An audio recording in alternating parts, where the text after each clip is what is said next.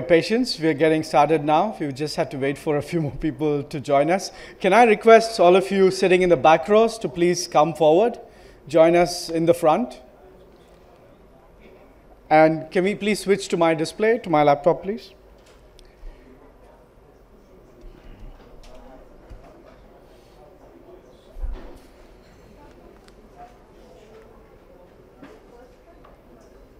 Yeah, the first rows are also vacant.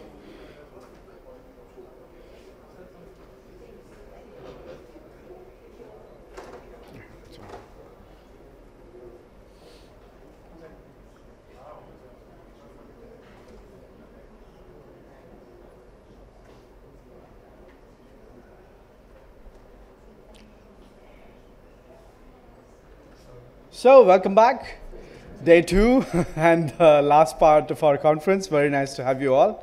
Uh, just wanted to do a quick check um, with Slido and uh, let's go over to that. And this is also going to be something to get us started. It's like I thought it would be a fun thing to do. Um, yeah. So it's very simple. Uh, just want you to go to Slido and uh, see if you can start building the story. That's already the first line of the story. Uh, I just want you to all continue the story. What would your second line to this story be?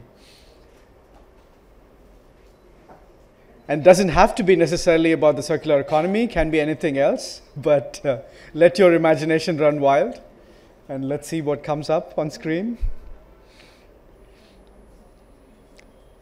And this can be a sort of crowdsourced story.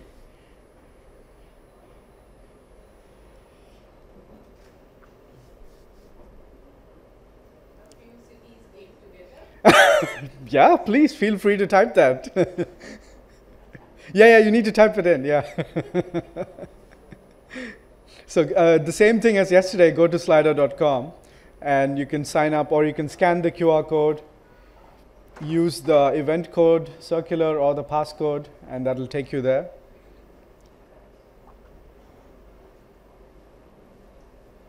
Hi, welcome. Why don't you join us a bit up front? We still have a lot more space here.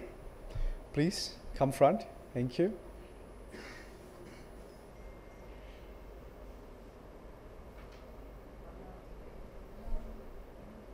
So for the ones who just joined us, um, we just got started a very simple uh, exercise with our online tool Slido, uh, where we're just asking everyone to build a crowdsourced story. So the first line was once upon a time, and then it's up to you to continue adding your line to it.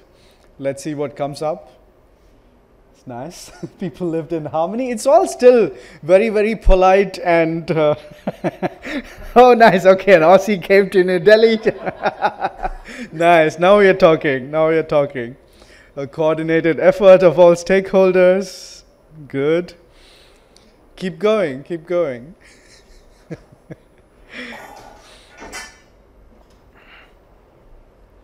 Planet full of love. Nice.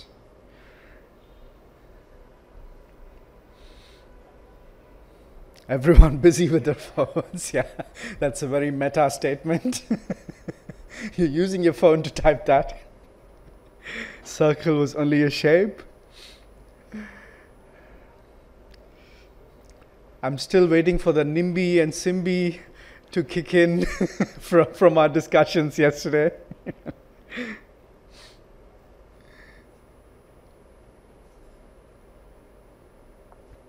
Great. All of us had good food and thoughts, danced well.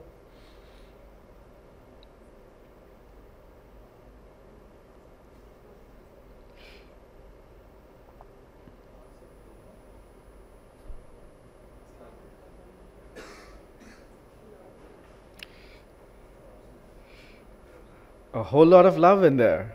It's good to see that. Scales will need to tip towards the circle. Ominous. Exchange ideas, concepts. Great. Humans did not rule the planet. I'm guessing that came from you, Sharon. I was kidding. Circulation starts at the ground. Oh yeah, Nimbu and Nimsi. we need t-shirts with these acronyms, guys, badly.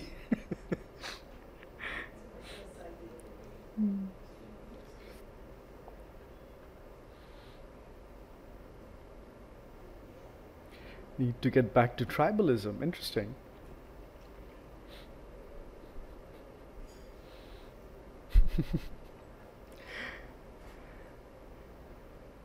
Great. I'll keep that open, and you can keep adding to it, and you know we can look back at it uh, around lunch and see what's the story that we created together.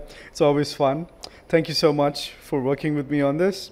Let's go to today's program, Learning Labs. So um, this is going to be a really fun session. We have a couple of um, super interesting speakers. The focus is really on tools, toolkits, and frameworks that are useful in the circularity uh, context for cities. So I'm very happy to uh, welcome some of our speakers here. This is the lineup that we have for you today. Um, we have uh, Apurva from Circle Economy, Shruti Sadhukan from ICLEI, uh, Mona, who's joining us uh, remotely uh, from Holcim, Sharon from UNEP, and George from the City of Hume, Australia. Uh, let's give them a big hand. Really cool to have such great speakers here today. So uh, without much ado, let's uh, get started. Um, can we start uh, with you, Apurva? I'll get your presentation up. Yeah, sure. Mm.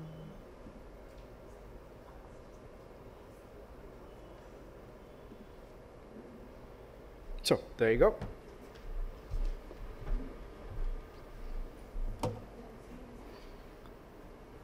Sorry.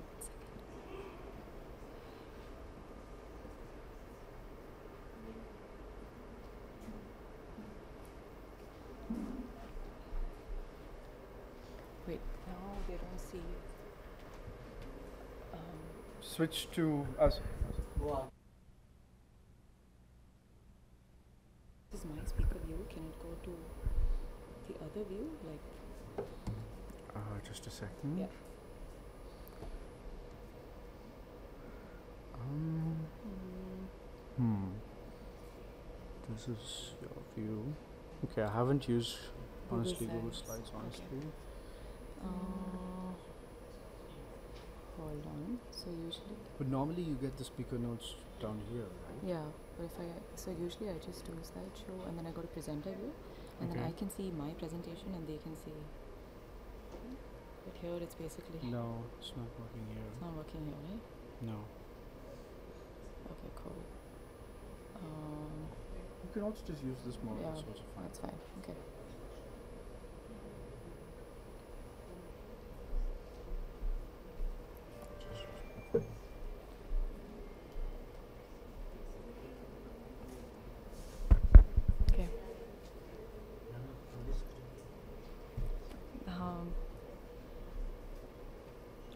Slide show नहीं वो है but मुझे speaker notes भी देखना है तो क्या देखना? स्पीकर नोट्स अच्छा और एक हाँ मिनट।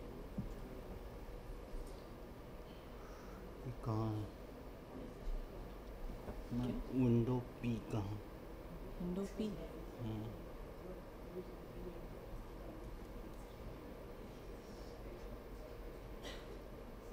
इज़ दिस फॉर नहीं, वो दो, दोनों साइड आ जाएंगे ना नहीं यार वो ऐसे करना है प्रेजेंटर में हम्म, बट ये वर्क नहीं हो रहा है okay no worries Okay. Um, hi, everyone. Uh, good morning and welcome to day two of today's session. Um, it's great to see you all again. So, my name is Apurva and I'm a labor market consultant working in Circle Economy. Um, so, today I'm going to be talking about the Circularity Gap Report for cities. And um, to start off within the eight minutes that I've been given, uh, I'm going to first tell you a little bit about circle economy and our work. Um, following that, I'll be talking about the Circularity Gap Reporting Initiative for Cities, the tool that uh, we're looking at today. And then I'm also going to be talking about looking ahead and um, you know what you can explore further. So um, the first part is about Circle Economy and our work. So Circle Economy is an impact organization that is based in Amsterdam in the Netherlands. And um, what we do is uh, we connect and empower a, a global community to create conditions for systemic transformations.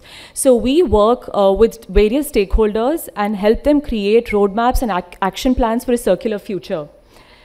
Um, so we've been in this space for about 10 years, and what our vision is, um, is that we want to contribute to, to a prosperous world of finite resources by accelerating the transition to a circular economy. And in order to do this, um, you know, we want to deliver practical and scalable circular eco- economy solutions to the world. To the world sounds really large, but basically we work with, um, you know, stakeholders across various contexts. And right now, um, our focus has been more in the European region, but we're really also working uh, in diversifying our context and working across different geographies as well. So this is our approach. As I said, we work with businesses, nations, and cities, and we guide them towards a circular system. And how we do this is we use data and practical evidence to create roadmaps for action and informing decision making. So this is just a snapshot of the experience that we have. So we worked with over 120 businesses, uh, 51 cities, 23 nations. Um, we've collected over 3,000 case studies in Knowledge Hub, which is an open uh, uh, resource that is accessible to everyone. So if you want to deep dive more into examples of circular economy in practice, you can also look at this resource. We have trained over 2,700 people and published over 70 plus reports since uh, 2016. And um, so one of our flagship products is the Circularity Gap Reporting Initiative. Um, and this is a report that we publish every year since 2018. And what we've done through this is we measure how circular the world is. Um, and we have a rigorous methodology to do this as well. You can find the information online. But I wanted to ask you all a question here. Um, how circular do you think our world is this year? So we just launched this report um, in, 2000, uh, in January 2023. Um, and I see some smiles there. Maybe some of you know already. Yeah, you've read okay, some of you have read it. Any guesses from someone who has no idea? Do you want to take a venture guess? Yes. 10%? Okay. Anyone else? Some 8%. Yeah, okay. So um, when we launched this report for the first time in 2018, we found that the, uh, the circularity gap was at 9.1%, and this year we find that it's at 7.2%. So what we see is that the gap is increasing and uh, how circular we are is basically going down. And what this means is that there are lesser resources that we are cycling back. More than 90% of the resources that we consume are not cycled back. So this is a real issue that we are facing, right? Um, so what we do is, um, I just spoke about the first uh, set of reports that we that we generate. That is the circularity gap report at the global level. So that's an annual report that we generate. We also do this at a national level. So what we do is across different uh, you know uh, nations. For instance, we did it for Amsterdam, and we found that Amsterdam was 24.3% circular. Uh, we also worked with Norway and we did a similar study. So the, at the national level, we do a similar analysis where we try and uh, identify how circular a nation is, right? And the next level is that is taking it basically to a city level. And this is what we are launching this year, and this is what I'm uh, speaking about today. So we are in 2023 launching the first circularity gap uh, analysis for the city of Munich. So uh, Munich, the, the, Munich metropolitan area in Germany, right? And um, so, so moving on to that, why are we doing this for cities? right? Why are we, uh, you know, scaling, like from the national level, why are we now bringing it down to a city level? And I think the rationale for this is pretty obvious. We've had a day of detailed discussions yesterday where we've really established how cities are the epicenter of the transition. And in order to be able to actually move towards circular solutions, we also need to make sure that local stakeholders are aware of what the gaps are and how they can be bridged. So the data and evidence part is a really important uh, component of this transition. And we also discussed that in the, uh, the sessions in the morning and afternoon as well.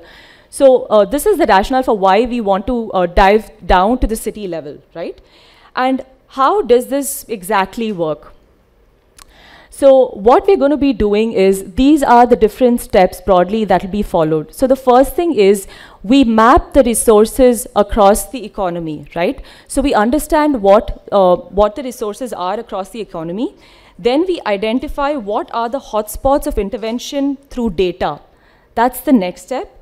We then look at scenario analysis where we try and understand what is the potential uh, impact of circular economy interventions in specific sectors. So then we, so at this level, we're diving down into the sector level analysis. And then, of course, comes a step of informing local stakeholders how and where you know there are uh, potentials for intervention, and then finally it's about creating a common uh, a, a, common plan towards action. And all this is done, of course, through an extremely collaborative process with at both uh, you know the national level as well as the local level. Um, so this is more of a uh, you know, nationally led approach. So it starts, sorry, at uh, uh, uh, when I say nationally led, I mean a top-bottom approach. So it starts, uh, it's more top-down, and um, yeah, these are the steps uh, that we follow, right? Um, so what we do exactly is that, um, and here I'm going to zoom out a little bit and look in my notes. So we, we look, uh, we basically, uh, you can see a Sankey diagram over here, and what this does, it is, is provides an X-ray of uh, the, a city's economy, visualizing how four material groups uh, feed into meeting societal needs, right? So here we see four groups. We see biomass, which is the green. We see non-metallic minerals in purple. We see fossil fuels in blue. And we see metal ores in orange. So what the first step is really trying to understand how these different uh, groups, these four material groups, meet societal needs, right? Um, what we also do is we complement then this analysis with a circularity economic indicator framework that cities can use to measure and track their progress. So once we understand uh, what the impact is on societal needs, we also look at what indicators are required to be measured and uh, you know, derive those so that they can also be uh, standardized across you know, different uh, bodies that are doing this analysis. Then what we do is once we uh, do the material flow and circular economy indicators analysis uh, to create a baseline picture of the status of circular economy, we also conduct a scenario analysis to identify what are the hotspots of inter intervention, right? And we measure the potential impact of the material footprint of the city, the carbon footprint, and the overall effect that it could have on increasing the circularity metric. So that's what you see over here. So just to reiterate, after the material flow and circularity economic uh, economy indicator analysis, we then move on to this step, that is identifying hotspots for intervention and measuring impact. Right? So in this way, the idea is to allow the city government to select the most appropriate circular economy strategies um, and, and you know, zoom in to the ones that would create the largest impact. So this is, uh, as I mentioned, a very co-creative, uh, stakeholder-based approach and we really uh, make sure that we work with a diverse group of local stakeholders and coalitions on the ground. So for instance, um, you know, we work with the project team, we work with a metropolitan level project team, which has uh, various stakeholders. We also have the Circularity Gap Report Metropolitan Region Coalition, who also feeds into this. And we also have an endorsement panel um, who, who also make sure that, you know, we are staying on track, who, else, who also ensure that we, um, we get the messaging across right. So now, quickly, um, looking that I'm also out of time, um, I'm going to quickly talk about what the next steps are. So first of all, this is just a snapshot of the work that we do. We also offer other tools. We have the Circle City Scan.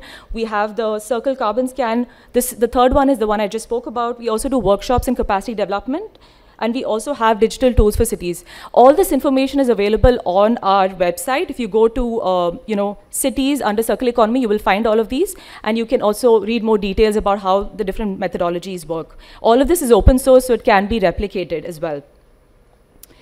Um, and as I mentioned, you can also go to Knowledge Hub if you want to learn more about inspiring circular, uh, you know, initiatives from around the world.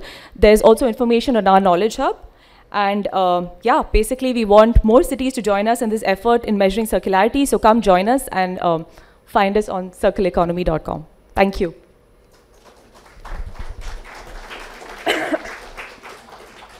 Thank you so much, Apurva.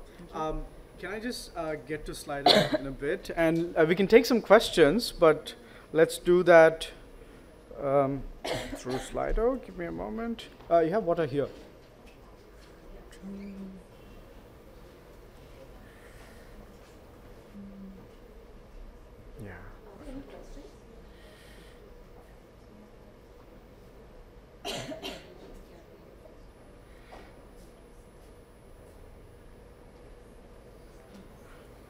So, yeah, Bharat, you have a question? Uh, good morning. I am Bharat Nagar from GIZ. So just wanted to ask you why you are not including water as a you know indicator of circular economy. Is it like water, uh, like you are focusing more towards the carbon footprint of the materials, or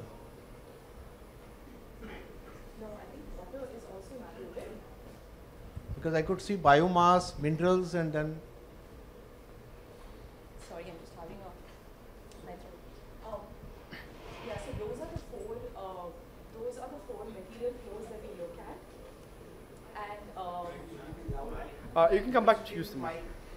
sorry. That's not. Yeah, so those are the four material flows that we look at. Um, in terms of water, to be honest, I have to check back on this and get back to you. So I can I can check on this and get back to you. okay, um, sure. Yeah, I'll I'll get back to your question. Thank you. Yes.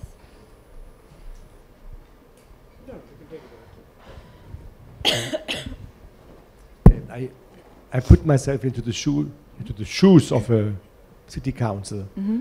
and I would like to, let's say, request your service to make this sort of analysis in my city. How can I do that? What is the price? Is there a sort of fund behind? What are the costs? Blah blah blah. And what do you need from me? And what, what would you do in case that my data situation is somehow critical? I cannot deliver all the data you need. Yeah, so I think in terms of um, estimating what the price is, I think that also what we do is uh, once there's an interest from a city, we then sit down with them to understand what the situation of data is, how much data is already available, how much it would how much would require extrapolation as well as mapping, and using best guess estimates, and um, then considering the holistic picture, we basically will then be able to provide a quote from the from to the city council. Um, in terms of what we require from them, as I mentioned, I think this process is very collaborative. So we really work very closely with city level stakeholders and um, so it will also involve, of course, an estimation of understanding what their input is and what their time is, um, and making sure we have appropriate support from the different stakeholders. Um, so, in terms of the budget, I can't say that there's a fixed uh, amount that we have. It really depends on what the the city size is, what uh, you know, what data is available, and all of those. I mean, approximately, let's say, a city of 2 million inhabitants, Mm-hmm.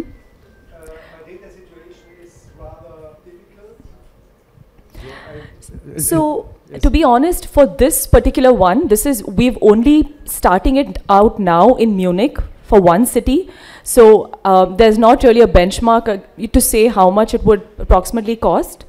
Um, so if any city is interested in, in you know reaching out to us, we can work with them more closely and give them an estimate. Right now, we don't have enough data points to say this is the estimated amount for doing a circularity gap report for a city, if that makes sense. Munich is paying that from its, its own pocket, or is there sort of a donor sponsorship? Um, I will check and get back to you. I think, yeah, I will check and get back to you on that.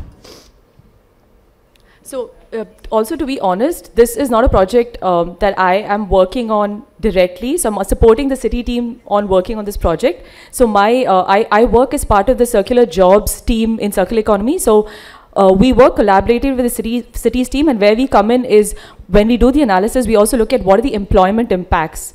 Um, and so that's where we really specialize on this. So that's why some of your questions, I will direct them to the city team and get back to you on those.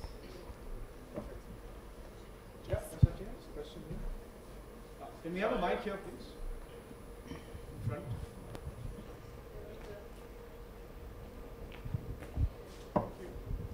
Thank you. Thank you, Apurva, for the presentation. I'm Konstantinos from Living Prospects. So my question is, uh, you presented the tools, uh, which appear to be very transparent. The question is, is they also available, the methodologies available for the city to use them themselves with their resources? So do you provide them with, uh, let's say, a workshop or some uh, details on how to perform this task themselves if they're not, to complement what Holger said, if they do not have the resources to, to finance them themselves? Yeah. So as part of all the offerings that we provide, there's also capacity development is very much uh, goes very much along with it because again the idea is that at the end of the process, uh, you know, we capacitate city level stakeholders to be able to implement and continue on this analysis by themselves. So definitely it's also part of it. And since this is the first analysis we'll be doing, the methodology and um, uh, all the analysis will also be for available openly, so it can be. You know, replicated as well. So this will be available once uh, it's complete and published. If you see also, uh, you know, the other reports that we publish, all the methodologies are also uh, available online. And if you require further information, you can even reach out to our team and we can share more details with you. Uh, fantastic, thanks a lot. Yes. Hi. So I'm Aarti from Saahas. My question is again regarding the methodology. Uh, that uh, when you talk about uh, the material flows, there is a lot more ambiguity regarding what is considered as a strict definition of, say, how the material is flowing. For example, uh, say recycling is a very vague term. Some countries or uh, places they might consider exporting the waste or incinerating as a way of recycling. So do you follow some kind of uh, established definitions to establish those material flows? Or uh, is, it, is it basis on what the city considers as? So I think um, in terms of material flows, we do have um, you know standard definitions that we that we follow. So um, one more point to mention is that our uh, city scan, which is uh, which is a product that we offered offered uh, which we also offer. is a lot more tailored to cities and what the requirements of cities are. And so the methodology is not cannot be really uh, you know rigorously compared across cities. So that's another uh, reason for also introducing now the circularity gap report for cities because we want to create a more standardized methodology. That can also allow more cross comparability. So um, in terms of the measurement as well this will be more standardized across cities as well. Um, I think there was a question from you as well. Abhishek, you had a question, right? Yeah. Good evening, uh, good morning. So, I'm a very commendable uh, presentation so far. I really Thank you. liked it. So, Thank you. uh, I just have an abstract question of sorts. So, uh, we've heard of this new concept called 15-minute cities, Mhm. uh, where uh, in a city within like 15 minutes you will have all essential services and all essential public transportation around you. So, uh, do you feel it actually builds towards circularity or is it a hindrance? Because it, it is a good concept in, in theory, but how would you, uh, if, if it is good for circularity, how would you implement it? So, I think in terms of circularity as well, and you know designing a city, I think that's why also the conversations we had uh, yesterday afternoon with the governance and urban uh, planning session is also I think really relevant. So while access to essential infrastructure and, and all of that is of course extremely important i think in also designing and planning our cities it's really important to think upfront as we're designing itself what are the different um, you know levers to consider in order to enable um, this to align with the circularity agenda. Because the, the truth is of course access and um, inclusivity is really important but i think it's also about finding that sweet spot between thinking of social, economic, and environmental impacts. And I think positioning circularity in the midst of all of that and finding that balance is really important. um, any further questions?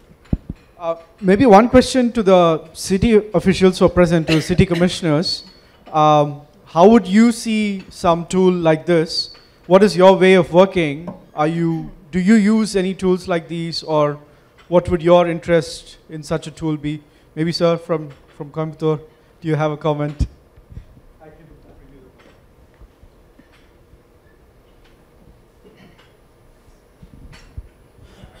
Good morning. Uh, it's a good uh, presentation basically, but uh, the tools are everything is in paper, but uh, the um, there are practical difficulties also uh, because more of uh, informal sectors are there. So we have to make it formalized and then we have to assess the real potential. Basically, like we, we are uh, all working on an abstract things. Maybe these kind of tools, if it is implemented properly, be there. Even I was asking uh, this Kabadiwala Connect, I was actually telling them to assess properly like uh, how much waste is there and what are the inform, how many people are actually into the formal and informal sector. So after that, this tool would be very helpful for uh, the cities. I hope. Thank But do you see it integrating in your way of working, or what is the gap there? What needs to happen for something like this tool to also be adopted in your workflow? No, it, uh, I don't think the tool will be uh, same for every cities because every city will have to be fine tuned based on the actual requirements. So that's how it. Okay, Yeah. thank you very much. And I think you touch upon a very important point as well, which is informality, right? And the fact that in different countries also the levels of informality, the data availability is very different. And uh, of course, we completely acknowledge this also that when we work across different contexts, we really make sure that we tailor our methodology and we also understand before we dive into a geography what the requirements are, what the availability is. Um, because often when we talk about circular solutions as well, we have to be very careful in ensuring that we don't override systems that already exist and it doesn't, uh, you know, lead to any sort of uh, disruption of like the local ecosystem. So definitely that's a very important point and we also work with those considerations always. Yeah. Awesome. Thank you so much. On that note, let's move to the next presentation. Yeah. If Um, you had another question, I can also. Uh, yeah. Oh, yeah. Holger, you had a question? Yes, please. I just want to come back to the figure of 7.1%, Yeah. let's say, sort of decrease compared to what happened in 2018. It was Uh, nine point- 8.7 or almost 9. Yeah. Yeah. What is the major explanation for that? Me- between in the pandemic, some de-investments, or what is, what is, let's say, the major explanation?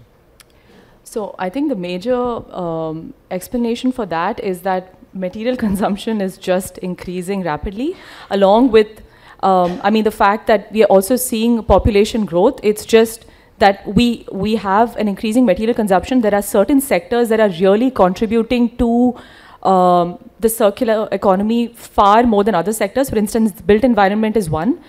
Um, you know, mobility and transport is another one. Energy is another one. So the, in these sectors, we really see that they are the largest contributors to uh, the whole, you know, circularity gap. And if we intervene in just these three or four key sectors, we can already see a huge uh, improvement in our circularity metric. So I think it's it really just boils down to um, you know, increasing consumption, which is just yeah, exponentially increasing.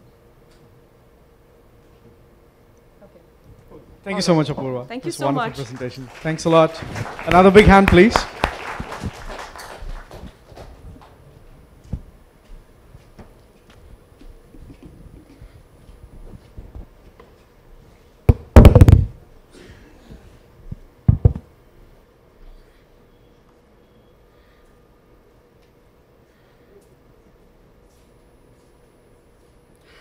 So let's head over now to our uh, virtual speaker who's joining us.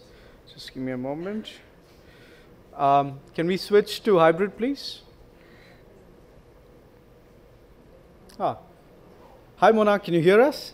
Yes. Oh, Can you see perfect. me? So wonderful uh, to, uh, to welcome um, Mona Jaluk from Holcim. And uh, she's going to be talking about the Circular Cities Barometer. Um, so feel free to introduce yourself, Mona, and uh, give us a really nice overview of what the Circular Cities Barometer is all about. On to you. Sure.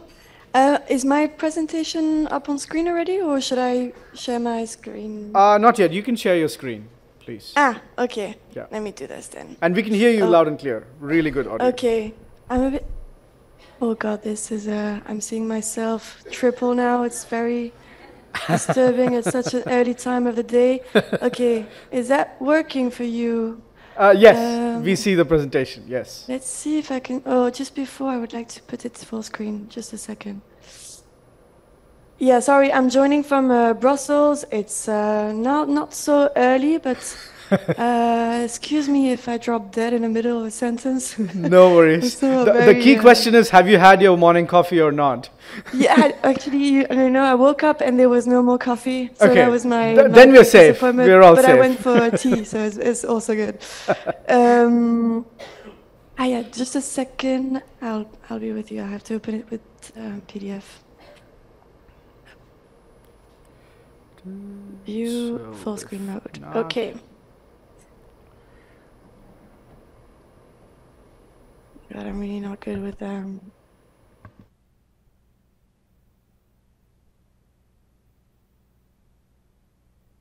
Okay. Yes, we see the screen now. Up and full screen mode. Is that working? yes, Okay. perfect. Sorry. Uh, and yes, good morning to uh, everyone. Um, my name is uh, Mona uh, Deluc, and I work for Holcim. I'm a global uh, positioning uh, public manager. And uh, for those of you who don't uh, don't know Holcim, we are a global manufacturer of building ma- uh, materials and solutions. And I'm very grateful for the opportunity to be here uh, today and to address you, city stakeholders, because as I'm representing a big industry, there's no need to remind the, the paramount role that we also have to play uh, to make our cities circular and uh, and net zero. And I think that being here today just sends the right signal that none of these uh, goals can be achieved uh, without collaboration from the full value chain. So thanks again for for the invitation. Um, so yeah, let me dive into the core of this presentation. I'm I'm here to introduce you to the to the Circular Cities Barometer.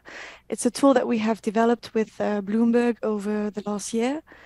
Um, for, for to start, the tool is in constant evolution. Uh, I'm presenting it to you as it is uh, today, uh, but there will be more phases of development uh, in the coming months where uh, your engagement will be key.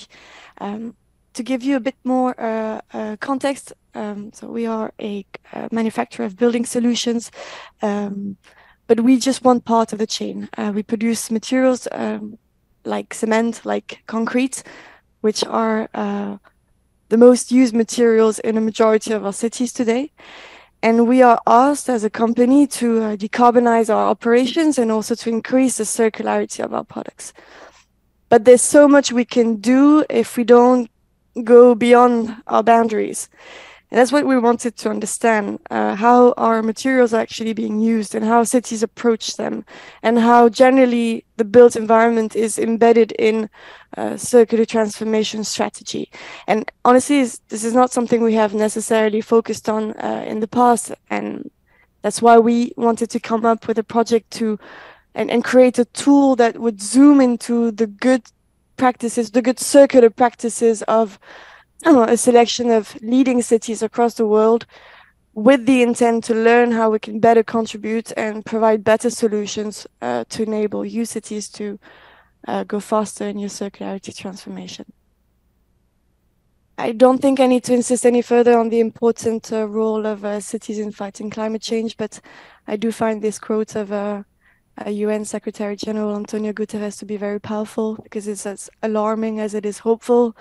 It's true that cities are uniquely uh, positioned to uh, help us move to net zero and to test and implement circular models. But again, this is not uh, uh, one player thing. It's uh, it needs and requires uh, collaboration. It, requires collaboration from the full value chain. And again, talking from an industry side, it, it requires innovation also from hard to abate sectors like ours. So to give you a quick overview of this tool, um, it evaluates, sorry, it evaluates 25 of the most circular cities uh, in the world.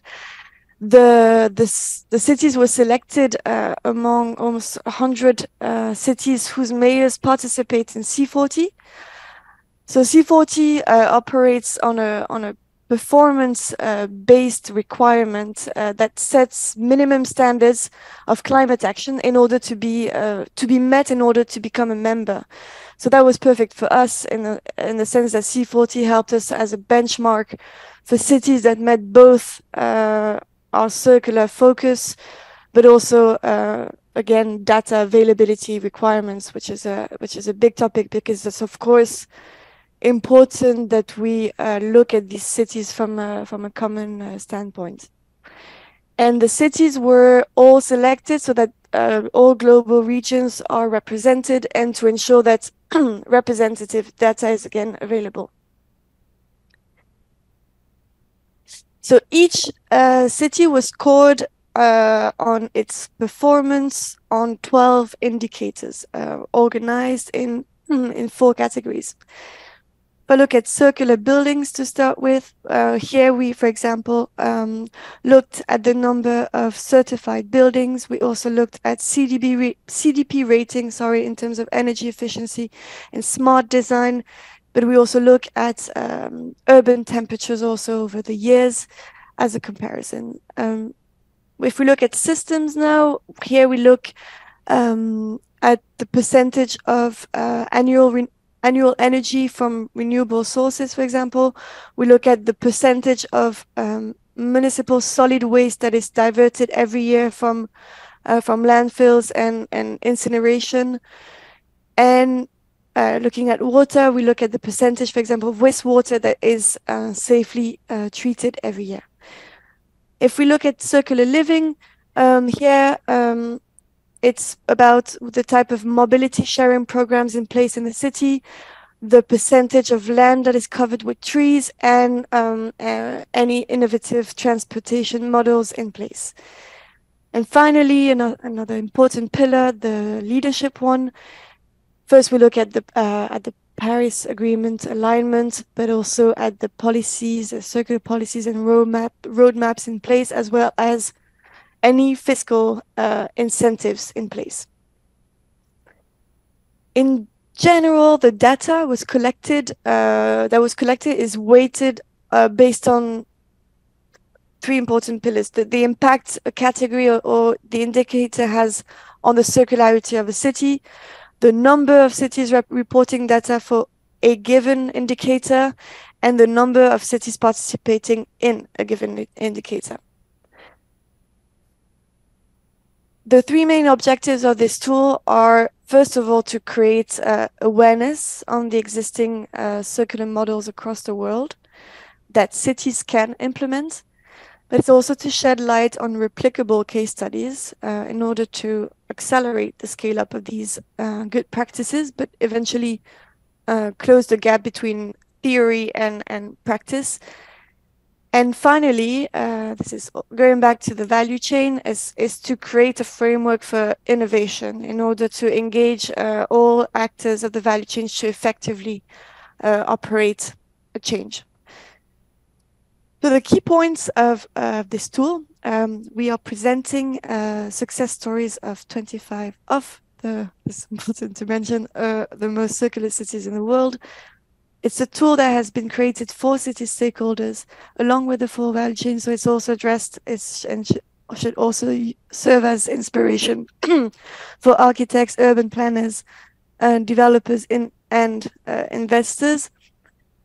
And we've been taking this uh, tool uh, uh over the all over the world with us last year. We've presented it at uh, the World Economic Forum, the London Climate Week, the New York Climate Week, and COP27. And we learned along the way that there is uh, a huge um, interest uh, in this in this barometer. Um, as we will be uh, if I if I look at the next steps now, uh, as as we will be improving the tool, uh, adding more cities, adjusting the indicators. Um, the the uh, so we, we we saw you saw that we did a, a ranking, which is uh, which is a risky move, uh, but it also can also be a, actually a healthy competition. But we want to move away from this ranking and and create more of a of communities of of learners and mentors. Um, and also adjust more the the circularity uh, indicators and criterias. And so this is where we will be needing uh, your input because we need to diversify our sources and we need to look into uh, more success stories uh, in order to move from the learning part in which we are now uh, into the engagement part and then uh, eventually into acting and inspire inspiring other cities to replicate existing circular practices. So you have to think of um, this tool as uh, as a huge uh, visibility platform for the work you're doing uh, to achieve climate objectives, and and I'm inviting you to, again to uh, to engage with us. The door is open, and also for feedback. Uh, it's a tool that we have developed uh, for you, and so of course we're keen on on feedback and to know how it is perceived. Um, that's it. Uh, that's it for me. So um, thank you. Perfect. Thank you so much, Mona. Can we give her a big hand, please? Can you hear me still? Yes. Um, c- can we take any questions? Sorry, I think you're on mute.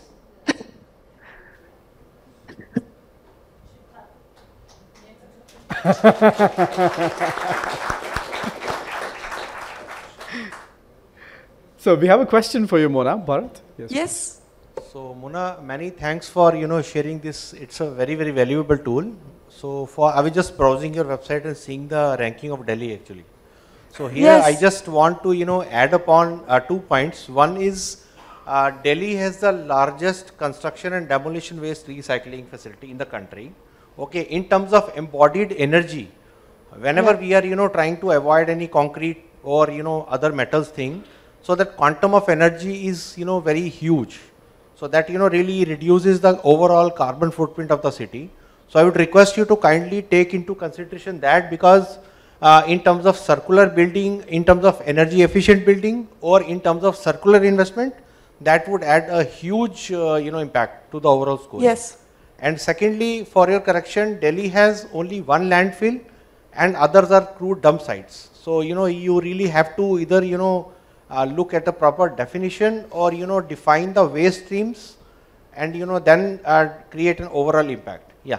And overall, Yes. it's a very, very good tool and I hope that it would have, you know, more wide use and uh, I would support the overall ranking because, you know, that motivates the city to move on and, you know, Good. elevate uh, gradually in the overall rankings. Yeah. Thank you. Okay, thank you very much for the input, and uh, please get in touch with us. This is exactly why uh, it's important to bring the tool out there. Uh, so you notice there is an overall ranking indeed, but then if you look look into uh, precisely circular buildings, you'll see that the ranking reshuffles and that Delhi actually uh, comes back up. Uh, so you, there's there's many levels to this ranking, uh, but very super insightful uh, comment. Thank you very much. Uh, yeah, we have a question from back there. Uh, Thank you. It's a wonderful thing. Uh, Regarding the scoring of 25 cities uh, that you collected and shared uh, uh, just now, on city Seattle, I think it is in Washington, it's a port city. Is there any initiative from the policy level to push uh, to get this uh, 100% score? Uh, I mean, 100%, okay. And one thing, the second thing is, is there any, I think it's a Delhi is there, or any other uh, city in this uh, ranking out of these 25 cities that you have selected? Uh, speci- specifically, what is the initiative taken by the Seattle city to have this 100 percentage score? So on, on the first question regarding the policy, uh, this is, uh, of course, this is a very important pillar. I think in the in the future we want to maybe put more weight on the leadership uh, pillar because that's of course uh, the first incentivize incentivize, incentivize uh, to to to to implement uh, circular models. So and this very very much the, the depends on the region. Uh, our, our policy and regulatory framework in Europe, for example, is is much different from the one that we have uh, in the US or elsewhere in the world. So this is very um, dependent. And on, on the on the Seattle uh, example, of course, uh, Seattle has been um, a, a leading example in this ranking. Uh, the the systems and the buildings in place. I mean, Seattle, uh, the, the vision we have of it is that city, the city is really thought as a system, uh, and and the the buildings are not are not thought in silos. It's everything. All the systems are very well interconnected, and and you can see this in the in the and it, it uh, a lot in the living and on the feedback that people in Seattle uh, also uh, giving on the way the city is organized uh, to be uh, to be a very livable place. Um, but there's there's a this is also where the, the limits of this because a hundred uh, percent score is of course you would think oh the city is perfect. Um, it is it is very good, but it's not it's not a there's always room for improvement. None of these cities are are like the best in the world. Uh, again, it has to be based on a on a. Uh, it's one data. It's, it comes from C40. We had to make sure that we had available data for all the cities we wanted to represent, but we are looking into uh, diversifying the sources, uh, connecting with other city networks. To have a, a, much more broad overview of cities and not just us uh, staying to uh, 25 cities in the end. So, yeah. Thank you so much. Um, more questions? Yeah, Holger, please.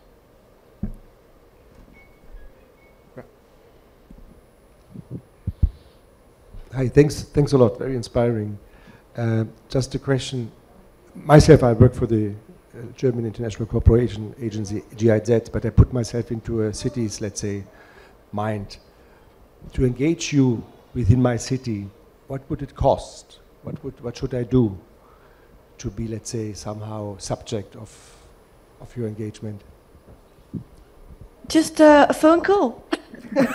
no. Wow. Yeah, no, it's not much more than this. Honestly, uh, we are we've been very shy actually, uh, uh, knocking at city's door. Uh, we we as I said, we we've been taking this tool uh, at global events, and it's had a really good uh, reception.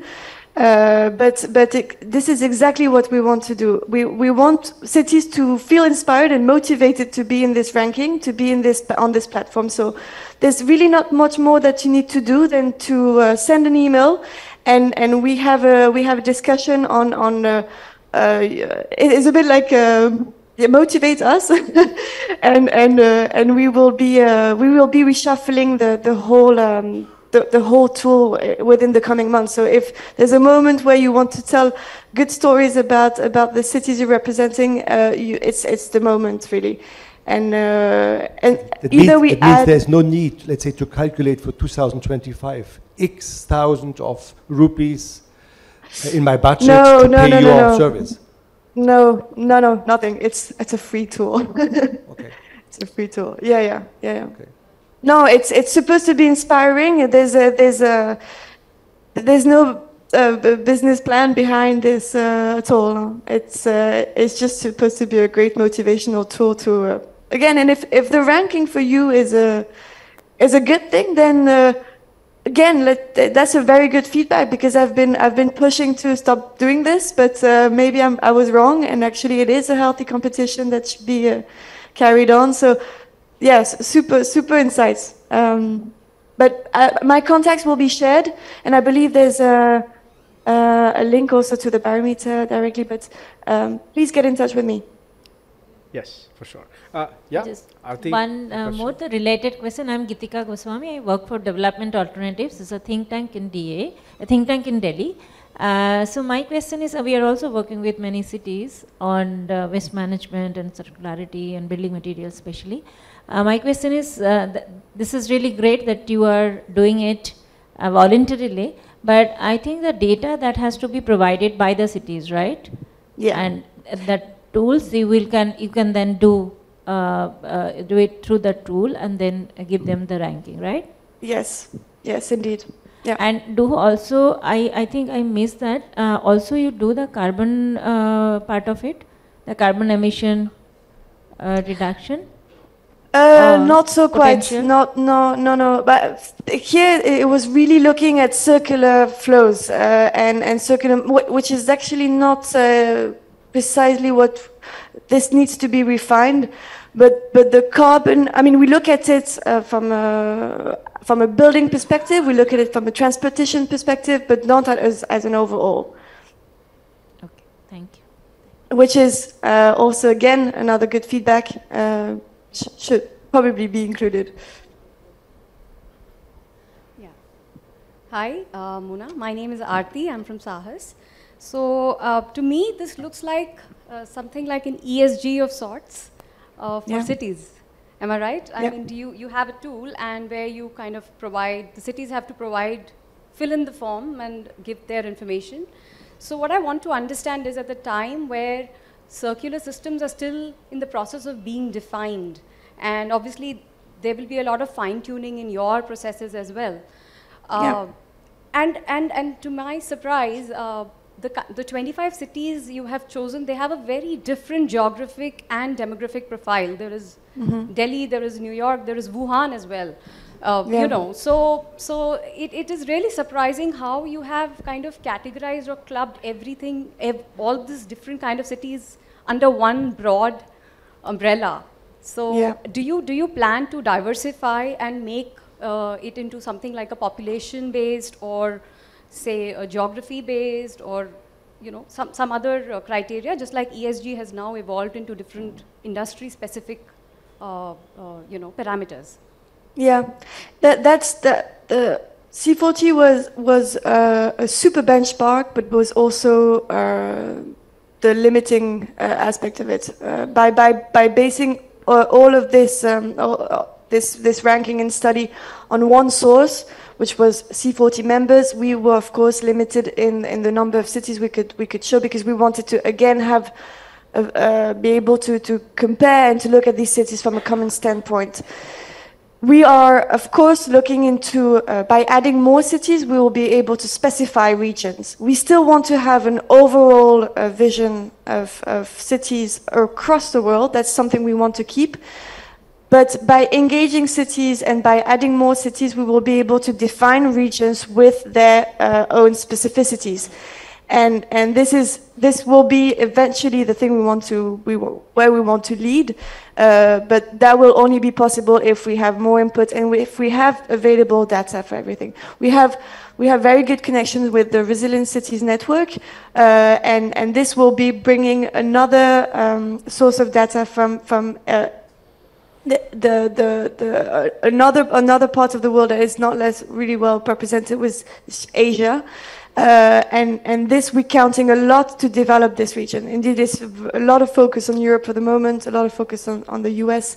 Uh, but as soon as we have more cities, we will be able, able to have uh, more weight in each region and, and specify a lot more because indeed systems are not the same and, and they are, as you say, in development uh, everywhere. So, yeah. Yeah, Mr. Jones. Hi, Mona. Uh, I'm Konstantinos from Millennium Prospects. Uh, We, uh, in our organization, we're doing a similar service. We provide a similar service for cities and uh, private businesses related to the estimation of, of their greenhouse gas emissions. The- this, this particular exercise is based on standardized protocols. For example, the ISO 14064 or the uh, GHG protocol of the World Resource Institute. And my question Yeah. would be, is this your approach validated somehow from a, a standard or, uh, yeah, a, a, an external organization or a, Mm. an auditor or something? Yeah. Thanks. Um, yes, that's a that's a very valid question. Um, so, so the, the the deep dive work was conducted with with Bloomberg, uh, who's a very uh, a long-term partner of C40, and they have they have uh, engaged on these uh, on these indicators together. Whether it's validated, uh, this I will have to double check, but. Um, by an external party besides C40 and besides Bloomberg, I'm I'm not so sure actually. Um, so, but very valid point because that will bring more weight and legitimacy to uh, to to the thing. Yeah, Yeah, that would be really, really, uh, really helpful Yeah. also for you since you're trying to do it to several cities. That would be a great. Of course, yeah, yeah, yeah. and yeah, it will help point. others. You, may, maybe you can help them, you know, create a standard Yeah, yeah, yeah, yeah. Absolutely. But one common standard that's going to be a tough one. If we look at if we look at region again, that will be uh, it will be easier indeed. Thank yes. Any last questions? Yeah, there's one here.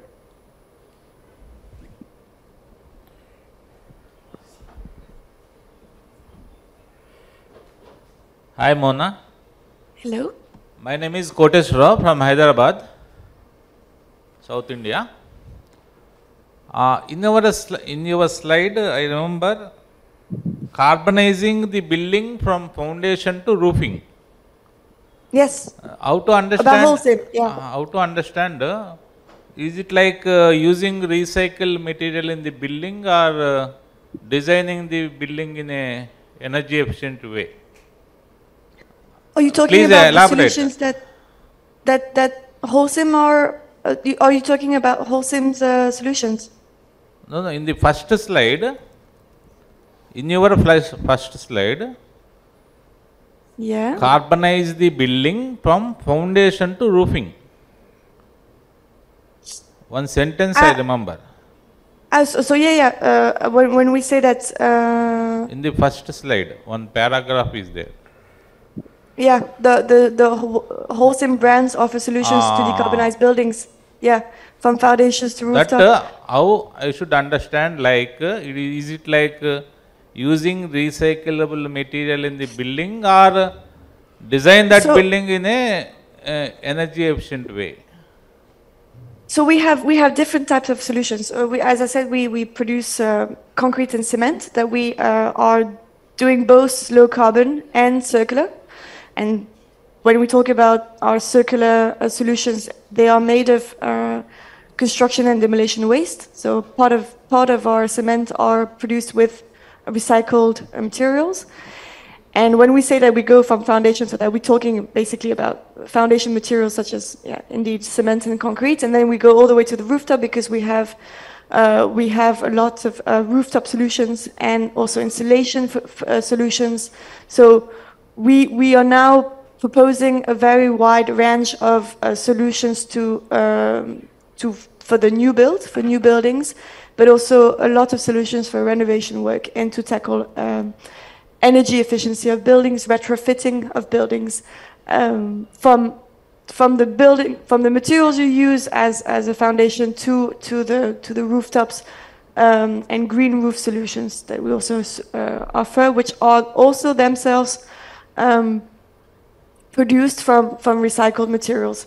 Okay, okay, I got it now.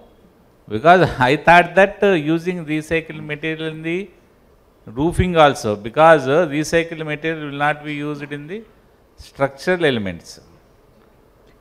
It, uh, well, we try. We tend to do this now. Uh, that's that's the idea. Uh, that's it, that's also why um, the cement industry is also um, an actor of the circular economy because we we have a material that we can infinitely uh, uh, recycle and reuse, and that requires uh, a lot of incentives. Uh, I'm, I'm talking uh, regulatory framework to be al- to allow us to do more. We're doing already a bit.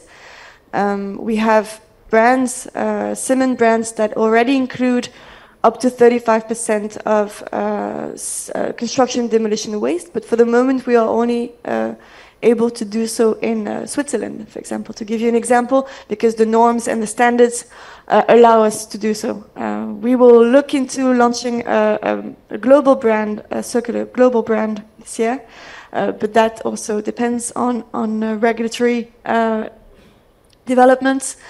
Um, this is what we tend to do, and, and the, the, the best is to be circular and low carbon, which is uh, this is another step in, in, in the, the improvement of our products. But uh, that's definitely where we want to go. Eventually, we want to reduce uh, the clinker factor of our of our products, which is the most intensive CO2 intensive parts of the cement production, and to replace it completely with uh, uh, construction and demolition waste material. But that's that's it requires. I mean, if we look into materials, it, it requires infrastructures. It requires sorting infrastructures. It requires a lot of uh, there's there's a whole value chain uh, uh, around this to, to make this a reality tomorrow. But but it is it is a possibility. Is it yet a reality? No, uh, but it is a possibility for sure.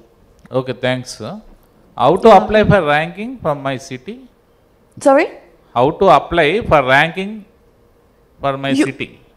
You can get in touch with me, and Okay. uh, as we will be diverse uh, again, we will be reshuffling. Because uh. Hyderabad is doing good at uh, solid waste management and uh, construction and demolition. And recently we got award of uh, world class, world tree city. Yeah. And also most livable city. Yeah. So we try to communicate this to my higher ups. Please remember my city name is Hyderabad. Okay.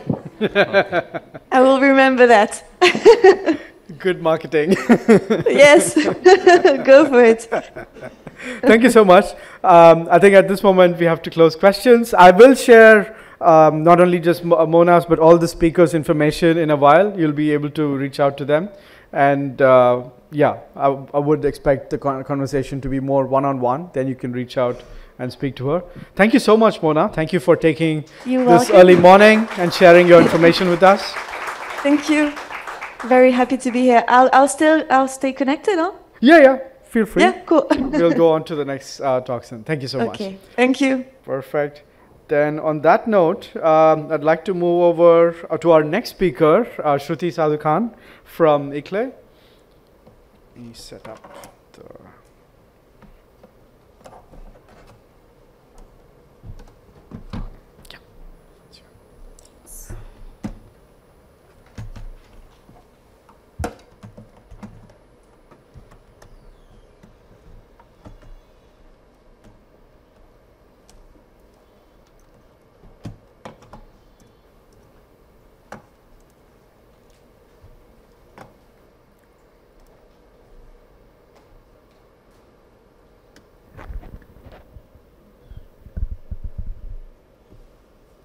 start?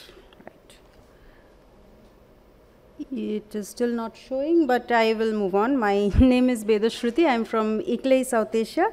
And uh, is uh, basically an association of local governments. We work with municipalities, with cities uh, all over the world. We have, uh, it's a global organization. We have like 27 offices all over the world.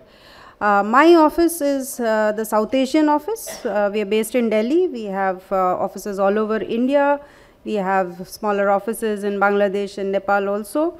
Uh, we work in the South Asian region because we are based in Delhi, uh, Delhi because we are based in India. Obviously, we work more in India. Uh, okay, great. And I've covered this slide. the way we have been working is through these uh, five pathways. Uh, this is uh, basically a low emission development pathway, nature based pathway, equitable, people centered development, resilient development, and circular development.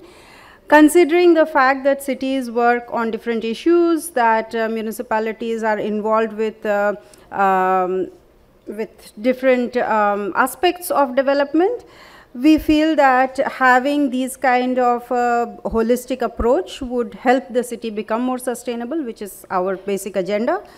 And the circular development pathway is uh, one of these pathways. Uh, we have introduced these pathways in, uh, in our uh, World Congress in Montreal in 2018, and we have been continuing with this.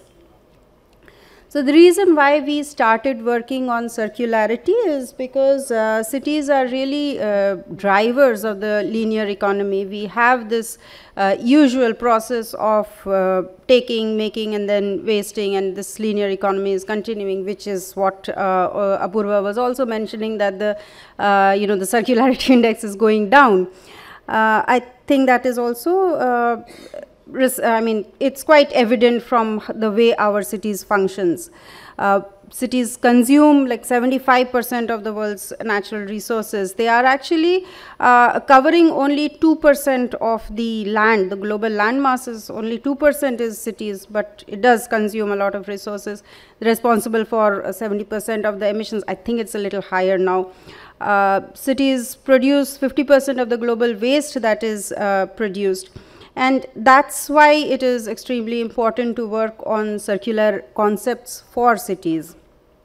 I would be talking about a framework that we have come up with, um, and that is the framework that we encourage cities to follow. All parts of the framework may or may not be applicable to all cities, but we try to uh, inculcate a, a, a, holistic approach to their uh, working on uh, on circularity. I'm sorry, there's some fly which is constantly disturbing me. Uh, yeah, so the benefits that we see from having a circular uh, development uh, agenda is that there is obviously reduced GHG emissions because there's a lot of uh, uh, production that is reduced. There is lower waste management costs. Uh, there is economic development and job creation. There is reduced congestion, air pollution, and there are more connected communities. But while we are starting to work on uh, circularity, we do realize that there are a lot of challenges, a lot of barriers that the cities face uh, in implementing the circular economy. So the, the one thing is that there is a lack of awareness, there is a lack of political buy-in. Uh, city leaders in this part of the world do not really uh, always have a clear vision of city development. It is very few cities which actually have a city vision. Uh, not all cities even have a city vision. Uh, and given that, uh, so there is ad hoc development. There's something which, I mean, funding comes in in some uh, aspect, so there is work on that aspect. Funding moves to another aspect, uh, priorities change.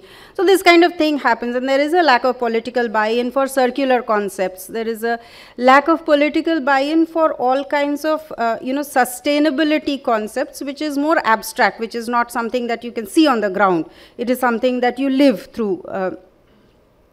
Then uh, there is also a problem of knowing where to start. I mean, uh, even if you are interested, it is uh, challenging for the cities to understand where do they start, where will the circular economy begin, how do they start working on it. Uh, there is also the problem of internal silos. I think all of us working in cities, we, we understand that you work with one department and the other departments don't even know who you are. So there is a problem of these uh, siloed um, uh, work work processes that the city follows. And uh, finally, from strategizing to implementing, how do the cities move in? How do they uh, provide finance to actually implement work? How do they move their budgets around? Or how do they actually implement what they have planned for uh, in, uh, in any aspect, in, particularly for circular development? How do they actually implement these actions? That is something which, is, which remains a challenge. So uh, this is something that we want to address through these uh, through this circular city actions framework, the CCAF that we call. Uh, the framework was developed in um, collaboration with Circle Economy, with Metabolic and Ellen MacArthur Foundation. Uh, it has actually five strategies. So I don't know whether it is visible or not over there. It has five strategies of rethinking, uh, regenerating, reusing, reduce and recover. So these five uh, uh, strategy that we have, we feel that through these approaches, uh, a holistic uh, circular economy can be um, uh, can be implemented. So the way we are doing this is that in each of these phases, so before you actually take uh, resources and before you actually uh, start extraction, uh, what you need to do is you need to rethink, you need to regenerate. When we are talking about rethink, it means redesigning systems to lay the foundation for circular activities to enable the transition for, uh, towards a circular economy. Regenerate means how do you harmonize with nature? It, it involves your nature-based uh, solutions, it involves your um, ecosystem-based approaches so that um, you have a holistic and circular uh, development. You, you, you do the link between, you know, you close the loop of your material flow. Uh, next is after you uh, after you have taken your resources. Before you even make it you try to reduce you try to reuse. Reducing means uh, you do more and better with less resources. Whereas in case of reuse you use the goods for a longer time and for more times.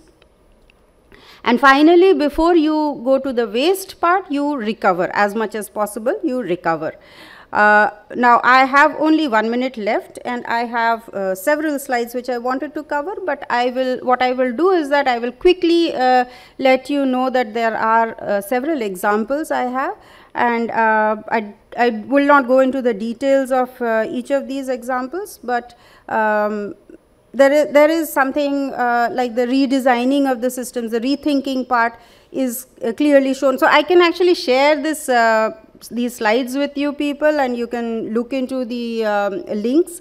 This will be uh, useful for you also to understand how it uh, starts from you know a complete overhaul of the system like uh, in this case the Hammarby district in Sweden.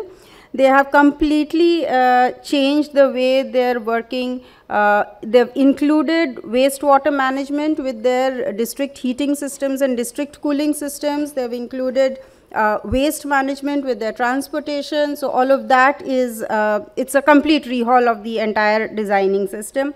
Whereas there are also uh, examples of, uh, for example, in Brasilia, which is looking at regenerating their uh, uh, natural resources so that there is more water resources. They were facing a crisis on water supply and they, that is how they have regenerated their water resources. Uh, we have a local example from Jaipur as well, which is looking at uh, uh, a textile park, a textile industry park, uh, which which has facilities for water recycling, rainwater harvesting, energy conservation. So how all of that got incorporated. Um, we have. Yes. It, it, was a, it was a EU funded project and uh, it was a it's it's not actually by the city. Uh, this was a private funded project and -huh. it was implemented by in this part. Okay. Um, I can, I mean, you can go into the uh, link and see the details of it. Okay. They've come up with a toolkit which can be used in these uh, this type of industrial parks okay. to move towards circular development. So it's okay. a Switch Asia project, uh, how Perfect. to move towards so uh, this thing. Uh, we have in Seoul who has moved towards car sharing and bike sharing uh, mechanisms which is helping them to reuse the cars for longer and it has actually reduced their uh, uh, ownership of cars and also reduced carbon emissions. Then uh, in case of uh, waste, I think waste actually is quite a good example. We have several cities in India which is working on waste uh, uh, recovery and uh, on also on waste, um, you know, recycling, uh, all of that is there in India also. This is an example from Ghana. Uh, here it is not just solid waste, it is also sewage and uh, both food waste and sewage waste, organic waste and this is composted and they have been using it as fertilizers and for generating electricity. I think a lot of this is also uh, uh, can be seen in India. Uh, there are several cities which are moving towards biomethanation uh, using uh, organic waste to produce biogas and then uh, I, I, know in Indore they are using it as biofuels also. Some of the other cities that we are working with they are also wanting to do the same. So yeah, this is something which we have been doing. Uh, Turku in Finland has actually implemented this entire roadmap. They've been supporting us into uh, fine-tuning the roadmap also uh, using the Circular City Actions framework. And they have been looking at these five thematic areas and uh, I would suggest that if cities also want to look at um, uh, circularity in their uh, development plans, then they should also prioritize which areas they should be they want to look at because they will not be able to cover all areas at one go. But uh, having said that, it is also important to have this concept of holistic approach. So you you would need to look at different aspects so that you can plan better. And then maybe when it comes to implementation, then you take up parts of the plan and start implementing. I don't want to go into this, I've already covered this and so yeah, if it sounds like uh, something we can help out with, uh, please feel free to reach out to us. This is uh, one of the email IDs, but I can also share my own email ID, and you can reach out to me uh, personally. And before you start with uh, how will how much it will cost, it will it will So basically. the first question is already predicted. it will uh, cost um, not much, so the tool is free, of course. Uh, our services, however, have, I mean, we have to give time to it, so uh, definitely we would expect that the city should cover uh, at least some of the staff cost. If not, that is also manageable, but then in that case, the city would have to have the commitment that, you know, you want to move towards circularity, and then the city will have to give some of their time, because then uh, collecting data, or putting it into the, uh, into the tool, uh, making the plans, it needs involvement of the city officials, it needs involvement of other stakeholders preferably also. So uh, I, I don't think it will be a very costly affair for a city. I'm pretty sure uh, all cities have these mechanisms of uh, having meetings, regular meetings and so on, so they can just put it as part of their agenda. Uh, our costs are uh, usually nominal and uh, we generally do not charge from the cities. What we do is we try to find sources of funding which is external and then we put in that fund for our staff costs. So. Okay, so that was the first question answered. Can we have the second, please? Yeah, thank you and uh, good, nice presentation. And surely I want the presentation so that we can go back to the link. Uh, I have two uh, things in my mind. If you are looking at the all the nine uh, you know strategies of the circularity, uh, except recycling, you are using all these, but remanufacture and repurpose, these two are not uh, That's in kind the of rethink part where Uh, you're redesigning the whole thing. redesigning, Yes, so repurpose and this- remanufacture, yeah. Yes. So this, uh, you know, this framework is ideally for a city, uh, for a local government to implement. So they don't really manufacture stuff. So this is more uh, addressed towards that. But what you are talking about looks into more of a, uh, like companies, industries can look into that also. And uh, if you want to implement them, then that will come under the redesign, the rethink part of it. Uh, okay yeah thank you. So thank you for this uh, wonderful presentation. Uh, I have a comment basically because you know, since morning we have been seeing, you know, seeing through three wonderful tools, but every tool has, you know, some plus and minus. So I would, you know, suggest that if you all three can work together, coming out from the silos, and then, you know, we are able to make a, you know, we can, we are able to compensate for the shortfalls. Like the Holcim tool had some shortfalls. You are working in India. You are, you know, more uh, aware of the local factors. So if you three are working together, hosted by a common agency or a common platform, that would really, you know, focus the efforts, and we can, you know, come out with a globally acceptable tool in a much shorter time. No, I, I completely agree. I mean, jokes apart, this is not really funny because I was also thinking the same thing uh, because uh, when I was uh, looking at the tools that were being presented in the morning, I realized that so our uh, this thing is it's not really a tool; it's a framework. It's a process of thinking. It's how you plan.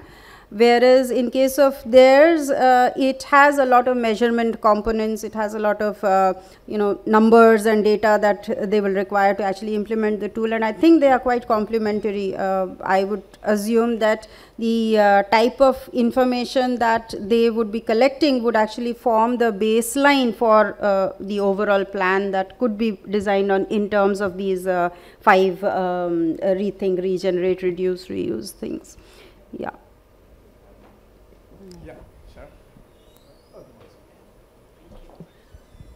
So I, I, I would admit UNEP is guilty of that.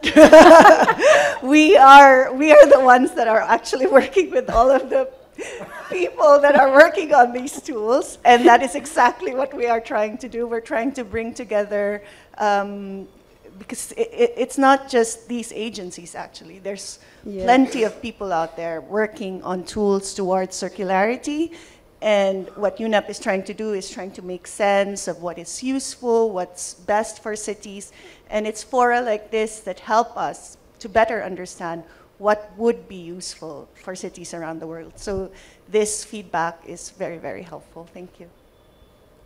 Thanks. And just to complement, Alexander from Living Prospects, but I also have another hat. I'm working with the Switch to Green facility. It's a European Commission facility supporting uh, the circular economy. And I would just like to complement what was said, that we, the European Union supports UNEP financially and, and the other um, organizations. And I was glad to see that uh, a Switch Asia project, for example, has helped your uh, work there. Would be great if we could see it in the slides as well, that uh, there is this funding. Um, and I think that the, um, all the uh, people that are working on um, uh, these initiatives have understood the importance of coherence, of coordination, and we are working on that direction together. Hopefully, we will be able to produce uh, new initiatives that will be more cohesive, let's say, in, uh, in their deliverables. Thanks. Thank you so much. Thank you. I think there's another comment. Hi, I'm uh, Zigisha Maskar from Pune Kushagra. Um, I had a question that similar to the other tools, this tool also you have must have tried at some places. So what are the common challenges that you see that come up for cities to implement it? Action planning is one, but when you go towards the implementation, what are the kind of challenges that you commonly come up? So um, the tool has been implemented, I think, in uh, Turku in Finland only.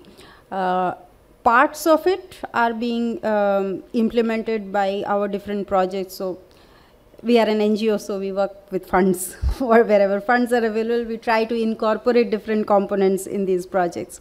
So parts of it are being implemented in uh, different areas in, uh, say, solid waste management, in water uh, management, and so on.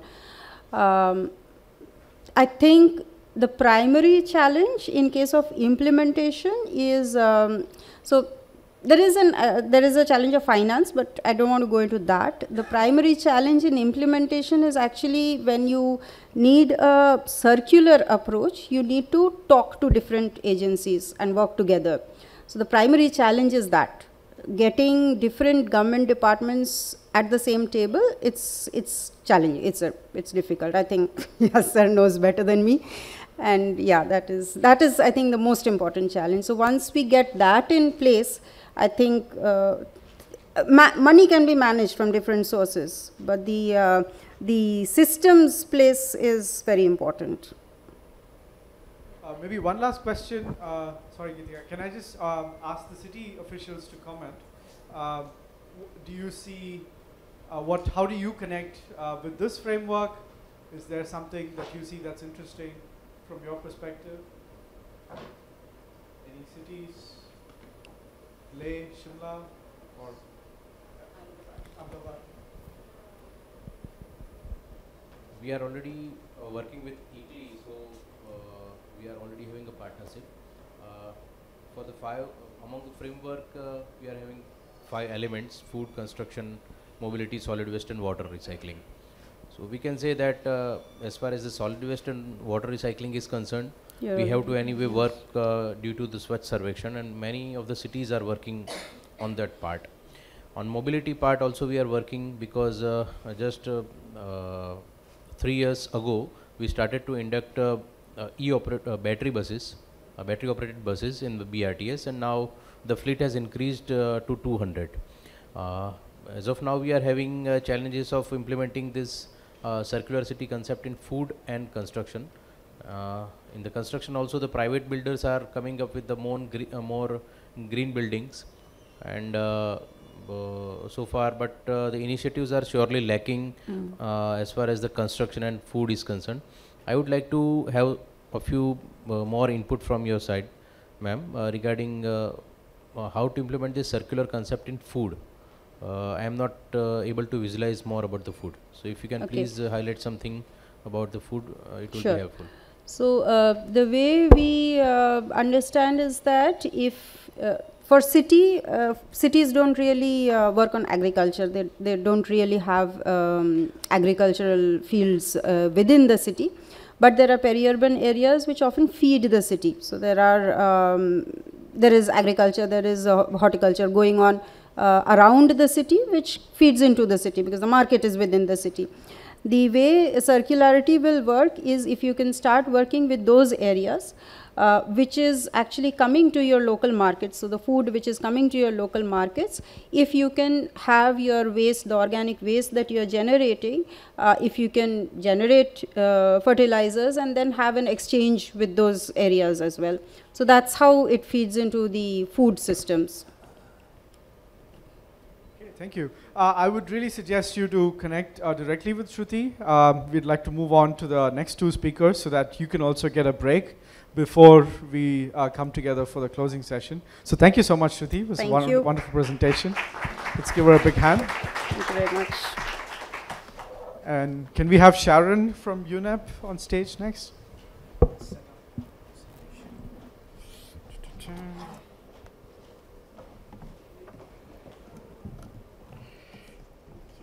Yeah, just get this guy out.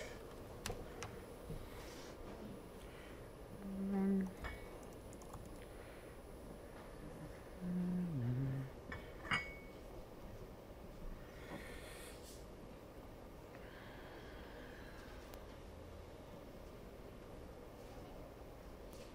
Mhm. Hmm. Not reading this. Just a second. Let's check if it's showing us something else. Mm, you- We can use the one that's saved, it's fine. Can I use that? Yeah. Okay. We- we- Let's just use the one that was saved. Okay. And it's, it's, no, it's, uh, my presentation is with you? Yeah. I, I saved it as well. here. Yeah, yeah, it's here, but we're not able to open it. Just give me a second.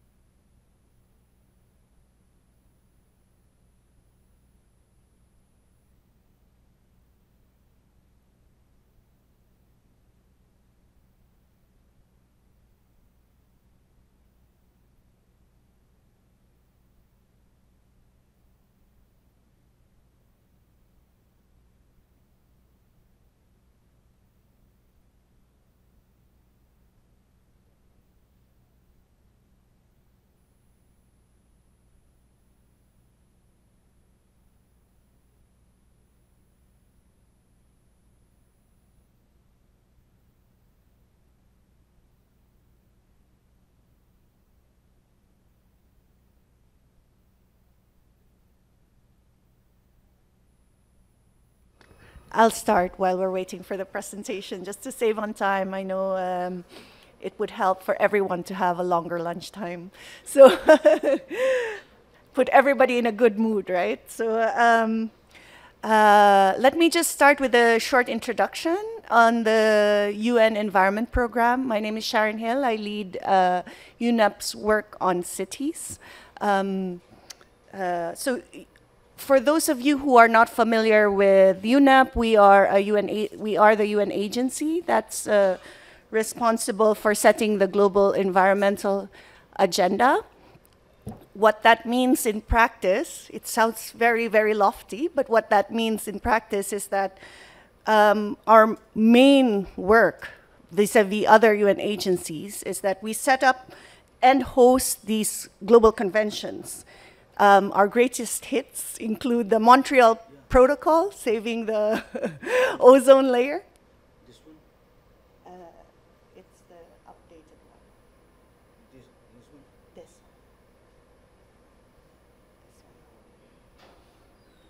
and the Stockholm Convention, for example, on persistent organic pollutants. Um, we also helped set up the UN Framework Convention on Climate Change, and we host the Convention on Biological Diversity. So, excuse me.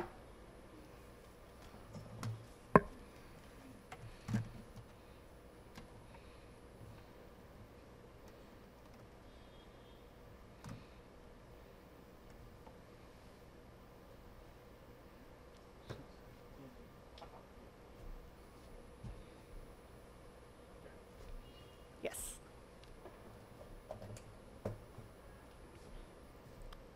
Thank you.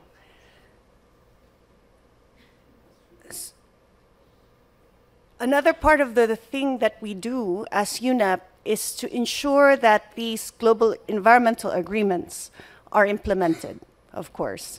And part of that would be to integrate the language and the actions embedded in these agreements into projects that would support national governments in the implementation and also agencies, different agencies, uh, nonprofits, think tanks, um, uh, technical agencies, in, uh, so that they are able to implement these global environmental agreements and that it all adds up to significant impact. And that's why, as I admitted earlier, um, it's our fault that a lot of the tools are, we, we do want to work with, with everybody. So our um, Global Alliance for Buildings and Construction works with Holcim, for example. Um, we work very closely with, we, this tool that I'm presenting to you was uh, co-developed with Circle Economy, and we provided input as well to the city scan tool that was developed with, by, with Metabolic. Um, uh, Shruti and I have worked together as well in, in a few other projects. So it's really an ecosystem. We work within an ecosystem and try to influence the direction of the ecosystem towards the multilateral environmental agreements.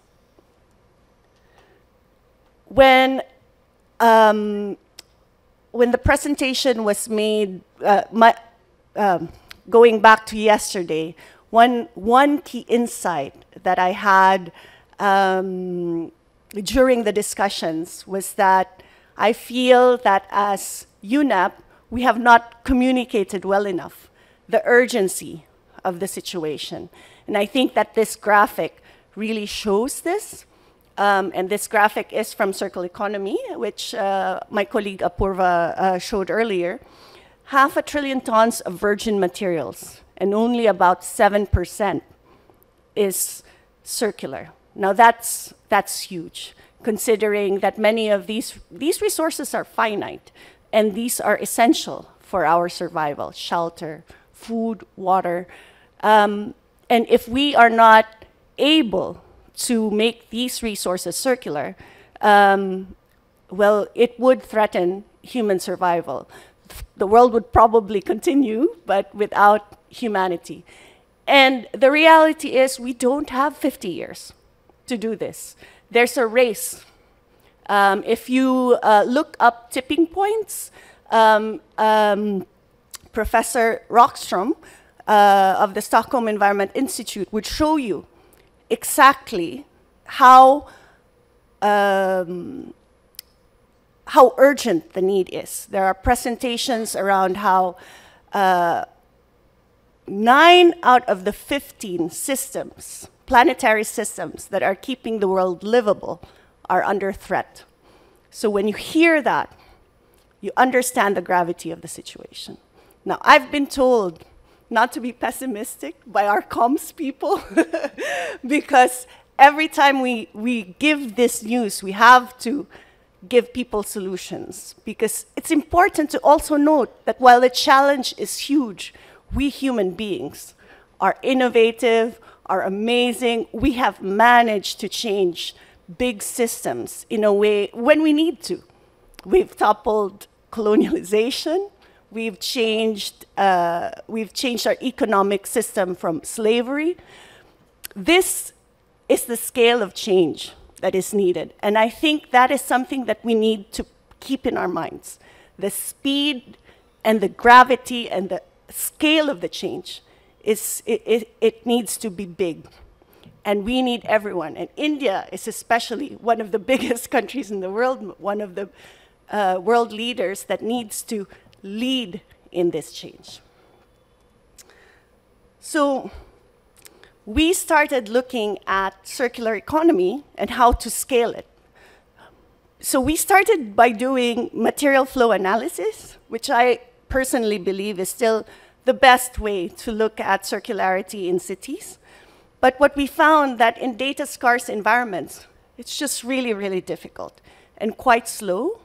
Even with the most, uh, we, we worked with Brussels, we worked with Bras uh, Recife in Brazil, we worked with, um, uh, we worked with a small city in the Philippines, we worked with Cape Town to try and see like, how can we take this MFA to scale? It, it was hard, uh, just, just to give you an idea. So we needed to get cities interested in circularity fast. And so we were looking at a way, how do we get politicians interested in circularity? And what we found that the most interesting thing for politicians and for uh, what moved the lever within cities was to talk about circularity in the context of jobs. And that meant um, looking at not just the resource flows, but looking at the city as a whole. What are what makes the economy of this city tick?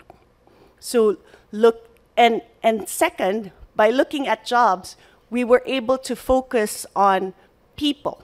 Because the, when, when we started, and, I, and I'm UNEP, uh, we have been accused of liking trees more than people in several occasions. but um, so we started looking at how do we uh, put people in the center of the analysis. And by looking at jobs, we were able to do this. So we developed a simple tool to estimate the total number of local jobs that could be classified as circular. So um, it essentially, sorry, um, to, this was done, of course, together with Circle Economy.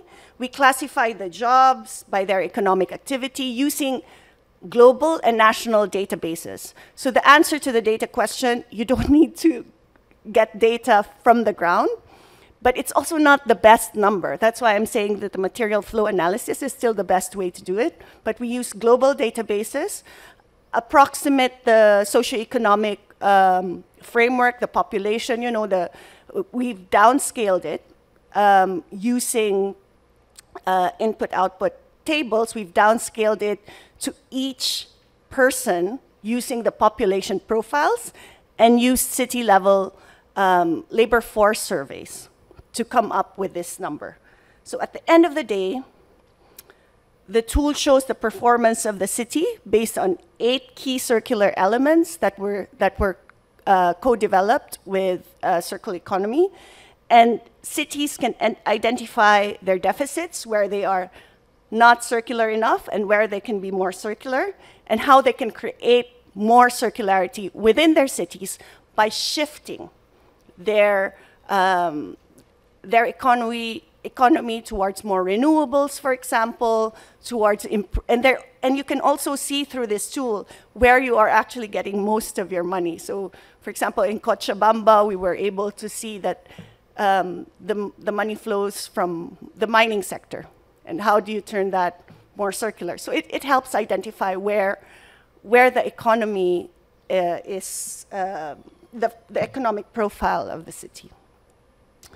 So right now we have data from over 300 cities around the world. And the next step, uh, this isn't really, this is a tool that can be used by cities, but the development and the work of this tool would rely on agencies like NIUA that work with cities, and they are the ones that will work with us in getting the data. For India, for example, we don't have enough data on India, and then we will populate it. And then the next step would be working with uh, with um, organizations like ICLEI, Circle Economy, Holcim, uh, towards capacity building in the appropriate industries and jobs that would move the lever towards a more circular economy. So there is a potential for the creation of new local jobs, you know, uh, making more circular supply chains. Cities need to understand that the economic transition needs to happen. This is a really rough estimate, and we would strongly encourage, it's a rough estimate, but it's a robust number because we've already tried with several cities around the world, and we tested it. Um, to give you an example, Mexico City, we found out, was largely agricultural, and we thought we made a mistake. We talked to, uh, uh, we said, oh, this tool doesn't work. We talked to Mexico City, and they said, oh, yes, we are very agricultural. Like, oh, okay. And then that's how we, we, we pilot tested and we, we made sure that the tool works. Uh, we're also embracing circular economy as a guiding mechanism for development, and that's really what this tool um, strives to do. So I end uh, my presentation here. There's a, there's a link to the tool if you want to play with it, and um, I'll stop here for questions. Thank you so much, Sharon. Uh, yes, can we have one or two questions? Yeah, Divya, up front. This is uh, very interesting, you know, because uh, circular jobs will certainly be a very big motivation uh, at city level and even at a country level. To put that number out and uh, you know get people interested in it will be, you know, I'm sure will be generating a lot of excitement. The other aspect that we felt could be included in, uh, you know, creating interest in circularity is uh, impact, assessing the impact of the externalities. You know, Yes. so there is health, there is an environment. We Mhm. tell these uh, words, but you know, obviously they are taken very vaguely. You know, there are no numbers. There is no impact. Uh, you know, associated with these aspects. And we know circularity will impact. You know these numbers as well. So if the tool can also give numbers on how much city will save on the health cost, how much a city Ah. will save in terms of That's you know uh, waste being managed better. Hence you have better land available. You have less water contamination. Hence the health impact. So these factors can, if they can be monetized, in a rough manner also, but as you said, rough but robust, Yeah. uh, can be very useful for cities to, you know, then see, you know, I'm going to save this in 10 years in my health Mhm. expenditure. So why not invest in it today? So that That's- would be that's really good very useful. suggestion. Thank you. Thank you so much. Uh, maybe, f- again, comments from the city officials. Any cities would like to connect with the jobs aspect? Yes. Can we get a mic there, please, behind? Yeah. See, in India, uh, this uh, migration is happening to cities, either push or pull for uh, employment. If we can provide this local employment in tier 3 cities or in uh, rural panchayats, this kind of migration can be curtailed. So, what is the modus operandi that we have uh, this local kind of employment Mhm. in tier 3 cities or in tier 2 cities or in the rural area Mhm. uh, by this mechanism? Uh, excuse me, just to clarify, so you mean more like a territorial approach where you have the, the main urban hub and a few um, rural areas? Is that? Ah, okay. Okay, thank you. Anyone else along the same lines? Yeah, Siddharth, please. Hi, Sharon. Thank you. I think very interesting the focus on circular jobs. I think for me, a question is um, when you look at the global south, there's a lot of jobs that are actually misunderstood. Mhm. So take my my sector. Nobody really knows what a scrap shop is and the impact that that job or that business is having to the city. So in these kind of frameworks, when you don't acknowledge actually the different roles and of people, the stakeholders, the types of jobs that exist, how do these frameworks account for that you know, difference in actually what's happening on the ground in terms of actual stakeholders and actual Mm. jobs that currently exist versus what, you know, from a top-down perspective is expected to exist? And how does that, how do these kind of tools rectify that? Thank you. I think the reform, so to, to, to simplify the data gathering process, we've had to rely on national data and um, ILO data. So we're working on this with ILO, with colleagues in ILO as well. And the idea, in order to acknowledge the nuances in, in country and in cities, I think that a more we need to reform these frameworks. And that's why we are working with ILO and with the national governments, because otherwise uh, change cannot happen. So, for example, we have uh, an algorithm that will calculate informality in, in each of the um, in each of the in this tool as well. But not all countries count infor informality the same way, uh, informal jobs.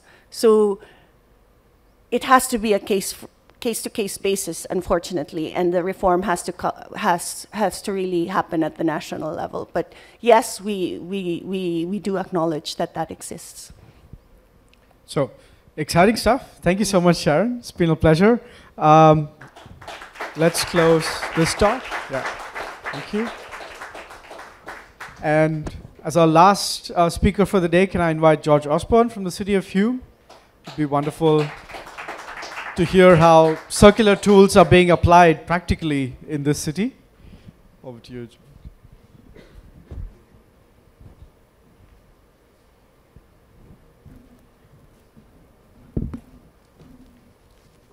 Uh, yes, I think I've got um, three. You can get the slides. Uh, no. Oh, okay. All right. Um, namaste. Hello. Um, I'm very conscious that I'm the last thing between a, a break. so I can already feel it, you know, talk quickly. Um, I'm going to, uh, I'm very conscious of time, and uh, so I will keep this relatively brief. Uh, and I have some handouts and presentations which I can share, which can amplify uh, further what I'm going to talk about. But um, firstly, I, I, really have to thank NIUA um, and GIZ and, and UNEP for, in particular, for sponsoring my participation. And I, I want to thank the previous speakers um, and everybody who spoke and participated yesterday because it's been an incredible learning journey. So I'm hoping I can share some information, but I've done an enormous amount of learning as well in the last couple of days. And I think that's an absolute key to everything about circularity and the circular economy is you've got to bring a learning mindset to it. No, no one of us in here, no one city, no one organisation has a mortgage on good ideas. And I think this is uh, so important because we've got so much to learn from each other. I'm going to talk about circularity as an economic driver. I'm going to flip the story, flip the approach. It links somewhat to Sharon's conversation about jobs. And, and, and perhaps this is another way to engage with city leaders about why adopting a circular economy is, is so important. So uh, I'm the Manager of Economic Development at the City of Hume. Uh, in the Australian context, we're in the City of Melbourne, we're an outer metropolitan municipality. Uh, in the Indian context, we're small, 250,000 people. But we have around 20,000 businesses um, 110,000 jobs. We're very strong in manufacturing, transport, logistics, and construction, so we're very ripe for adopting circular uh, processes.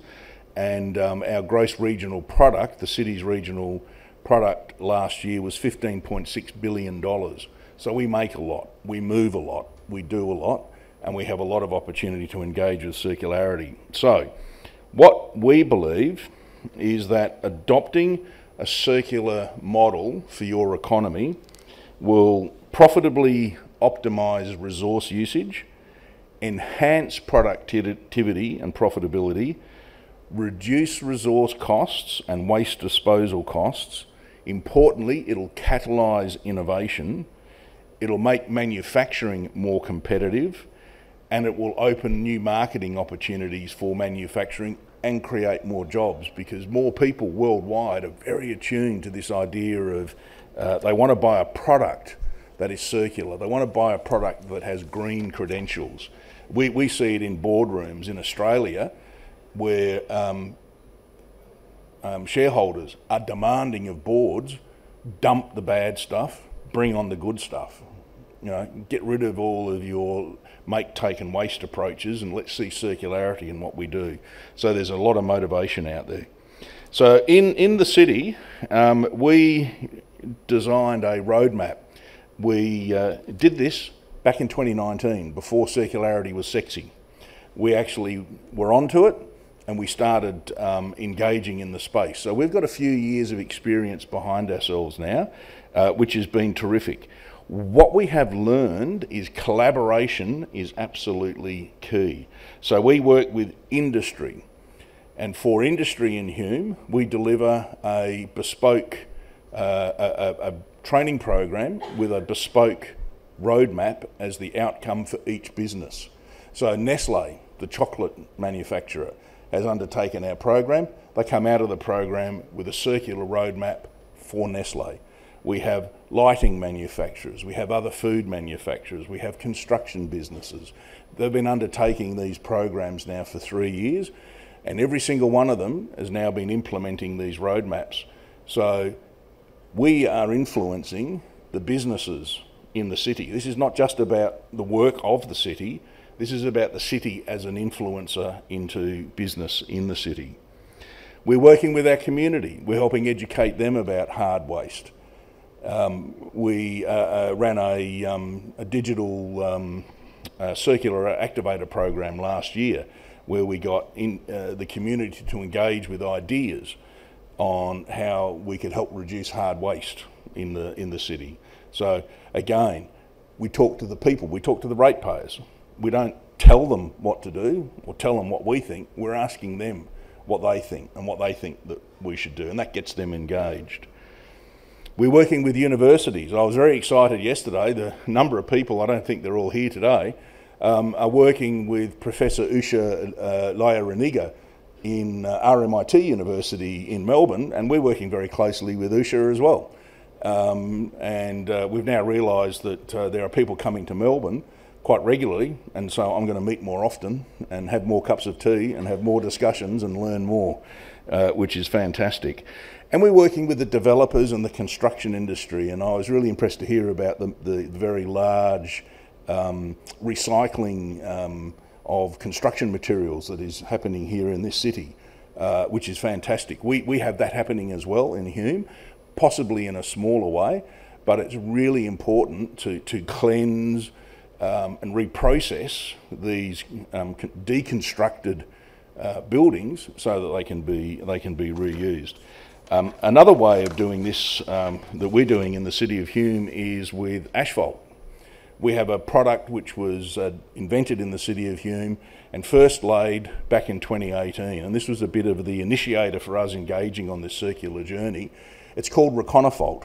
And Reconophalt uses recycled asphalt, crushed glass, soft plastics, so plastic bags from the shopping centre, and as the binding agent, instead of a very expensive polymer that used to be imported from France at great cost and impact on the environment, we use toner from toner cartridges, recycled toner from toner cartridges. The product is better than the traditional product that's made with all virgin resources. So it's a very, very, very circular product. And, uh, and to give you an idea um, of some of the statistics, just quickly rattle a couple off before I finish. So as an example, um, so this is in the Australian context, so it's a little bit smaller, but in 2021, we laid 30 kilometres of new road in the city. Every kilometre of road uses 530,000 plastic bag, that's my alarm, rather than a... Today I actually have an alarm telling me to shut up. Um, 530,000 plastic bag and packaging equivalents, 168,000 glass bottle equivalents, toner from 12,500 printer cartridges, and 134 tonnes of reclaimed road asphalt. So that's in every kilometre. Now, this product, having been trialled in Hume in 2018, is now being rolled out right across Victoria and elsewhere in Australia. And in the last 12 months, Reconophalt has reused 46 million plastic bags, 20 and a half tonnes of uh, recycled asphalt, 1.3 million used toner cartridges, and 11 and a half million uh, recycled glass bottles. So that, there's an example. Now, why did we do that? One of the local businesses approached me as the economic development manager and said, I've got an idea. What do you think about this? So, at great danger to myself, I went to the engineers in the city and said, What do you think about this? And they went, Yeah, let's give it a try. But it had to be tested, they had to be convinced, so there's that element of work. But they tried it, and now it's just happening everywhere. So I think some of the lessons that I've learned from my journey, which has now been over nearly uh, four years, is that cities can make a difference, and it's not just about what cities do, it's about how cities influence their community, their business community, their ratepayer community. Cities can influence up as well as down.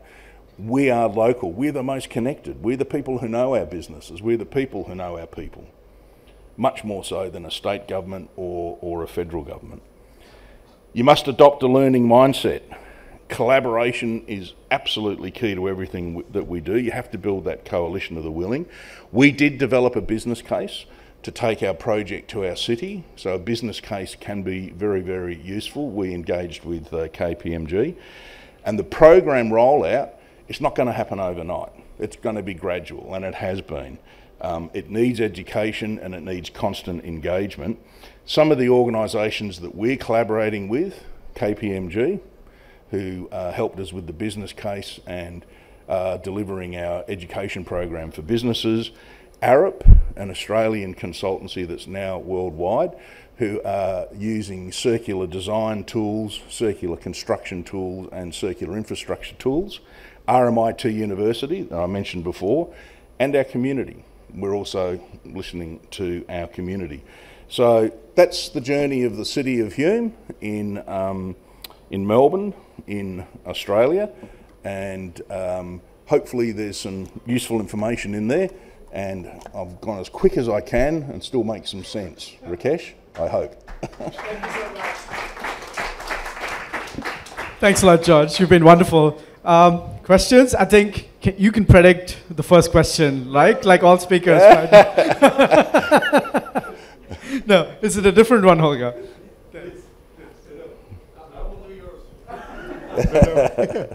no, no, because it, it would make not it would make sense.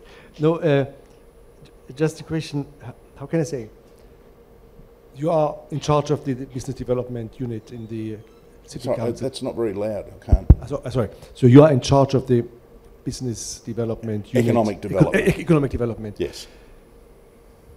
How can I say? Uh, just to to to uh, let's say somehow to, to share. I was in that kind of business in the city of Berlin in, in a public bank. So th- it was always hard. That's with my background. It was always hard to reach out to businesses and to let's say to get a real honest conversation in what to change because they have plenty of other concerns.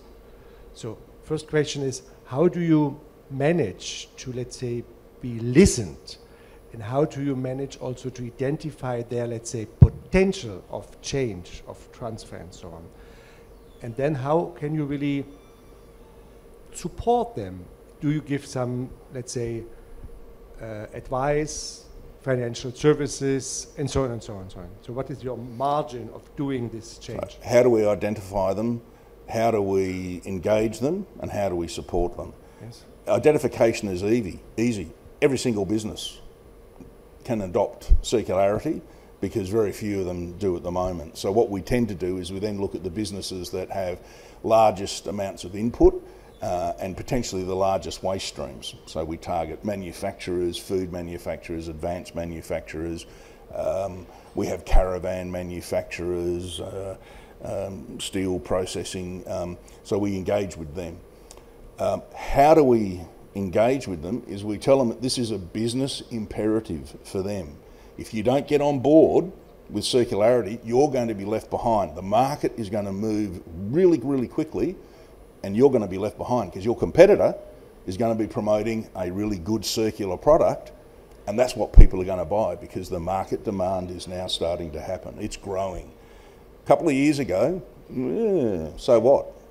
It's an esoteric, you know, mumbo jumbo, green rubbish. Now, in the boardrooms around the world, as I said, shareholders are telling boards, come on, go green. Now, they're still using that sort of terminology, but what they're really saying is co circular.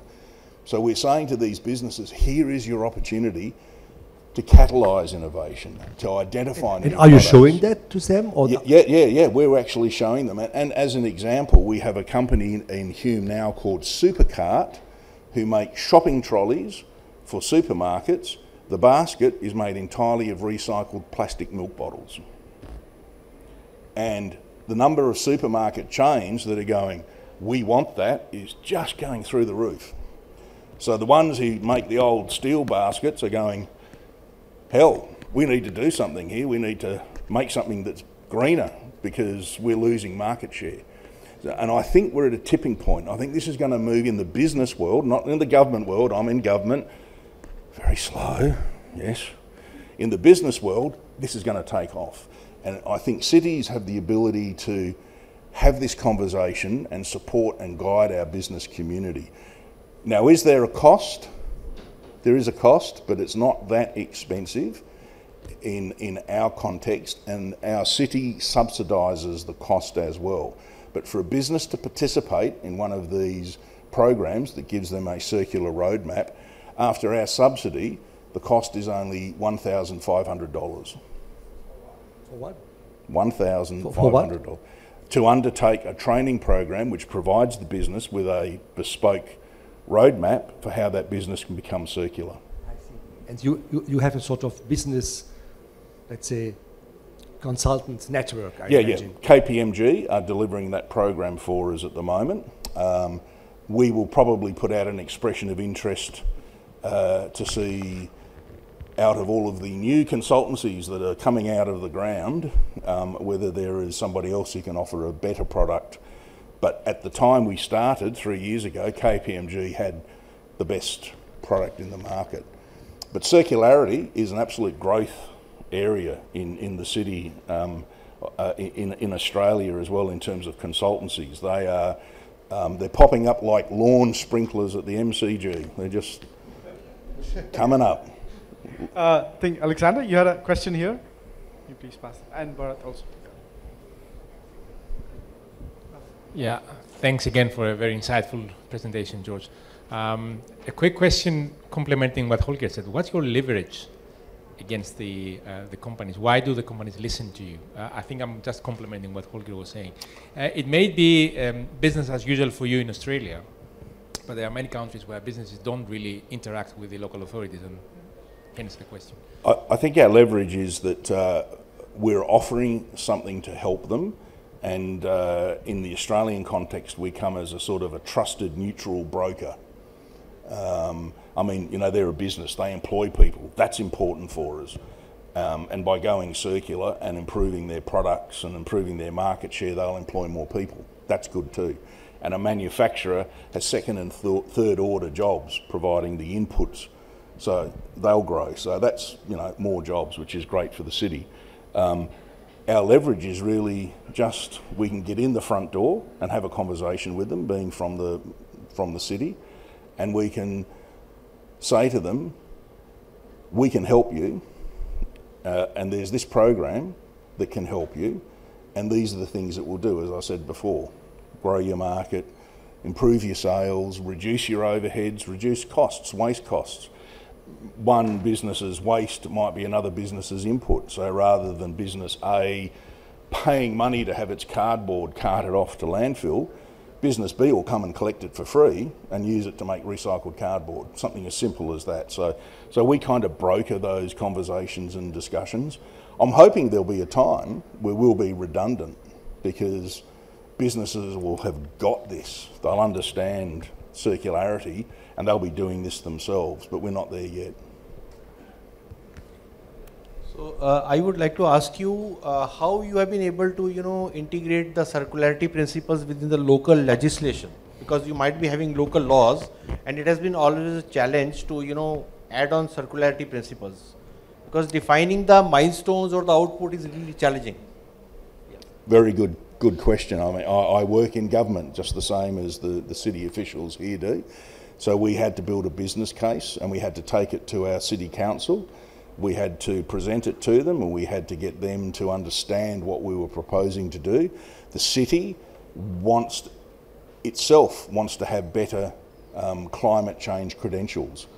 And it's now seeing that by the city helping business community adopt circularity and by the city itself undertaking circularity and using recycled building materials and using roads like Reconophalt, the city's contributing to its climate change agenda. So absolutely, yeah, I couldn't be doing this if I didn't have the support of, in the Australian context, our mayor and our councillors.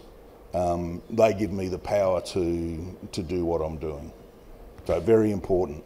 And the business case that was developed that showed how this would work was important. I couldn't have articulated it myself. I needed the help of the business case, which was prepared by a consultancy. Thank you so much, George. Um, on that note, uh, feel uh, let's uh, let's close right now and go for a quick break. Uh, we'll come back in about 10 to 15 minutes for the closing session, where we have the dignitaries also joining us. I hope you had a wonderful time. Can we have a nice round of applause for George, please? Thanks a lot. Uh, we have some tea and snacks waiting for you. And yeah, don't forget to talk to each other. If you found some of these presentations interesting, especially the city officials, feel free to say hello and ask them more questions. And we also have some fun um, uh, frames set up here, the yellow, blue, and green frames that you see on the side. So if you want to do some social media posting, feel free to use that. you also have the Circular Cities tagline on that. So go on, have some fun. We'll get you back in for the closing session, and after that, we'll go for lunch.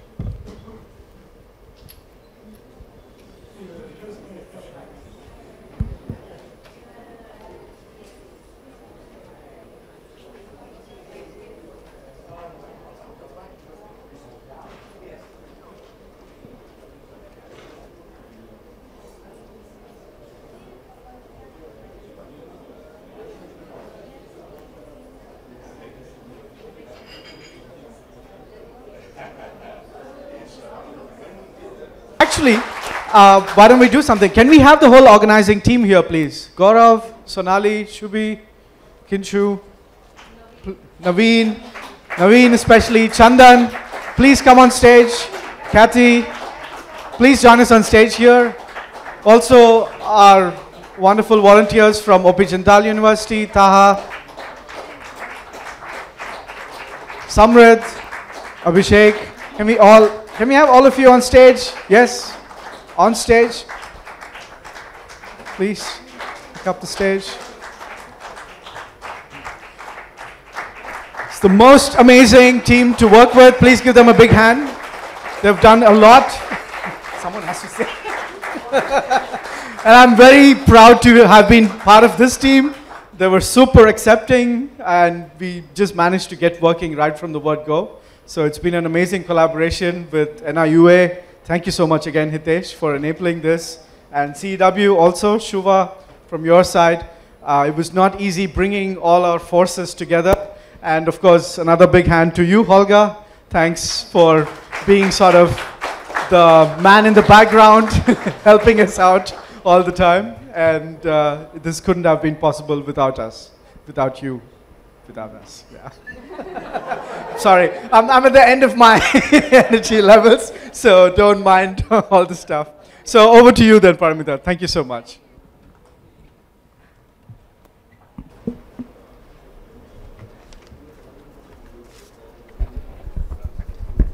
Thank you, Rakesh. Uh, it wouldn't have been possible if you were not the bridge between us, UNEP, GIZ, and CEEW. So you formed that bridge and that's why we could do it. And without the backing of our director who, who just gave me total freedom to do whatever I wanted to do, it couldn't have been possible without him. It's a really humbling moment for me. Thank you so much. Uh, with that said, a very good afternoon to the dignitaries, Mr. Ashok G. Ashok Kumar, Director General NMCG, Mr. Jagdale, Joint Secretary Ministry of uh, Renewable Energy, uh, Mr. Ravinder uh, from the Ministry of Housing and Urban Affairs, and our friend Nicola, who has been our advisor all through, specifically advising us in the U20 process. It is my honor to present a summary of this very, very engaging and action-packed workshop, uh, sorry, conference on circular cities.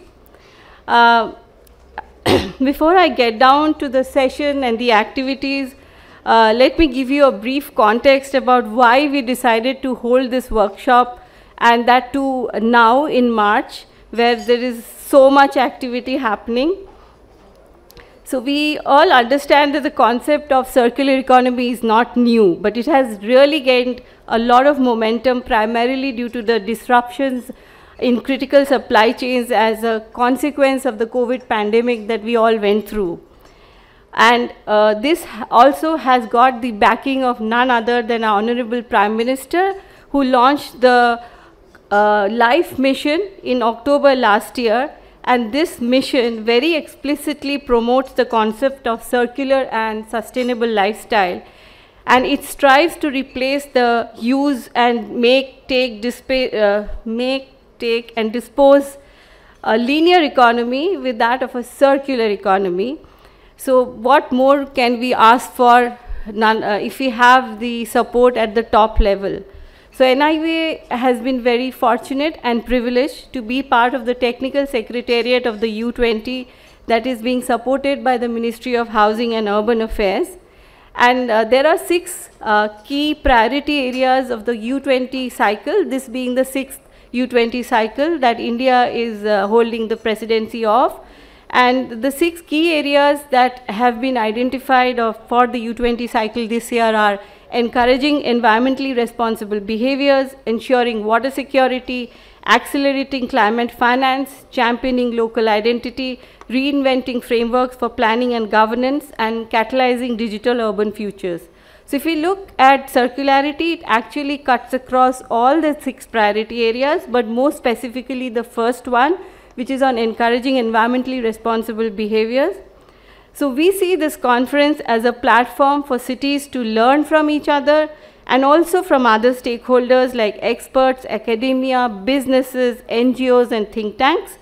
And if we want to drive home the concept of circularity, then we all agree that cities are the front runners in this and they are the drivers. So we therefore designed an interactive ideas where all the stakeholders could come and speak to each other in larger groups, in smaller groups, through breaks and through different activities.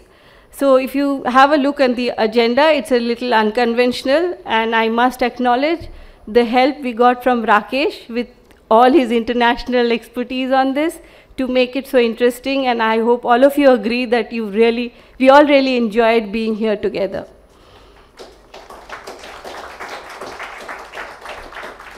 So uh, we began the plenary session on international perspectives. Uh, the panel included Mr. Tejas Bhandari from Ahmedabad Municipal Corporation. As you know, Ahmedabad is the U20 uh, host city for India this year, and uh, uh, they are also the Sherpa for the mayor's conference that is coming up in July this year. We also had with us Ms. Antia Berger from the German Embassy, Mr. Holger from GIZ, Ms. Sharon Gil from UNEP, and Mr. Nicola from the Global Solutions Initiative, and this was moderated by Ms. Shubha from CEEW. So Ahmedabad being the U20 Sherpa city, briefed us with all the circular efforts that they are carrying out in the area of transport, water, wastewater, and solid waste management. The city has also come up with a novel uh, and innovative circular instrument like the Environmental Improvement Cess, Circular Finance, and they have also set up a energy efficiency cell where they are working on solar and wind energy. Ms. Berger talked about the relevance of circular economy across sectors and the projects that the German technical cooperation is carrying out in India. Uh, Holger and Nicola, Nicola elucidated about the circular economy sounding board, the interacting platform, and the efforts of the Global Solutions Initiative, and informed participants about the upcoming event of the GSI in May in Berlin, where we hope to see as many of you, and the book on resources for the future that is going to come up. In the parallel thematic sessions, uh, all of us learned about some best practices in waste, sanitation, water sectors, in habitat and governance, and on energy and mobility. We had presentations and very, very uh, unique discussions between the commissioners, additional commissioners, and representatives from all the different sectors. Some of the key takeaways that I got from the session was that if we talk about waste management or any other sector, it is the engagement of and collaboration of everyone that matters. Passionate leadership is key to all this.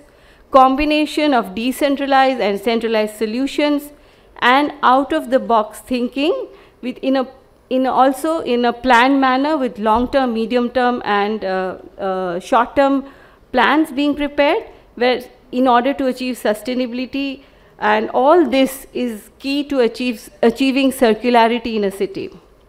Uh, in the peer circles, we had smaller group uh, presentations in a trade fair booth kind of style where all participants first heard about innovation, innovative solutions from startups and other business providers from both national and international uh, scales.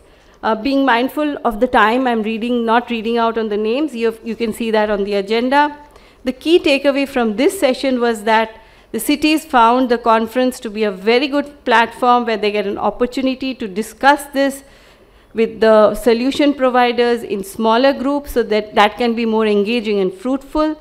It was interesting to see how the city officials talked very openly about their challenges and we actually witnessed some matching happening over there, matchmaking happening over there, and we are very happy that we were able to provide that platform.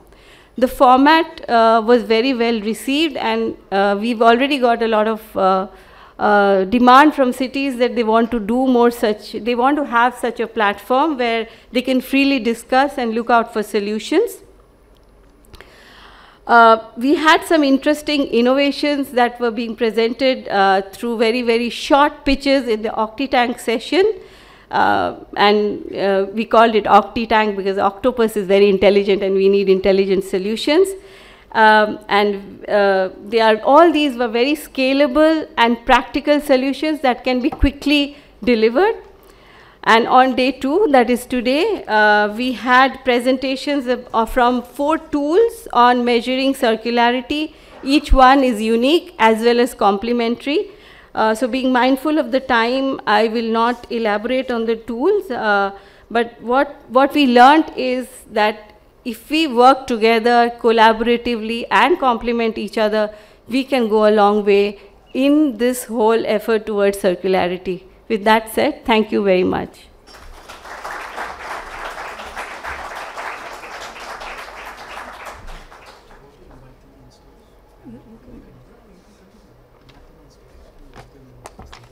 Okay. Uh, so I would now like to invite our dignitaries on stage for the, uh, for the closing session. Uh, may, may we please have all of you on stage, Mr. Jagdale, Nicola, Mr. Ravinder, and uh, Ashok Kumar, sir and Shubha and Hitesh sir. You can, you can be here.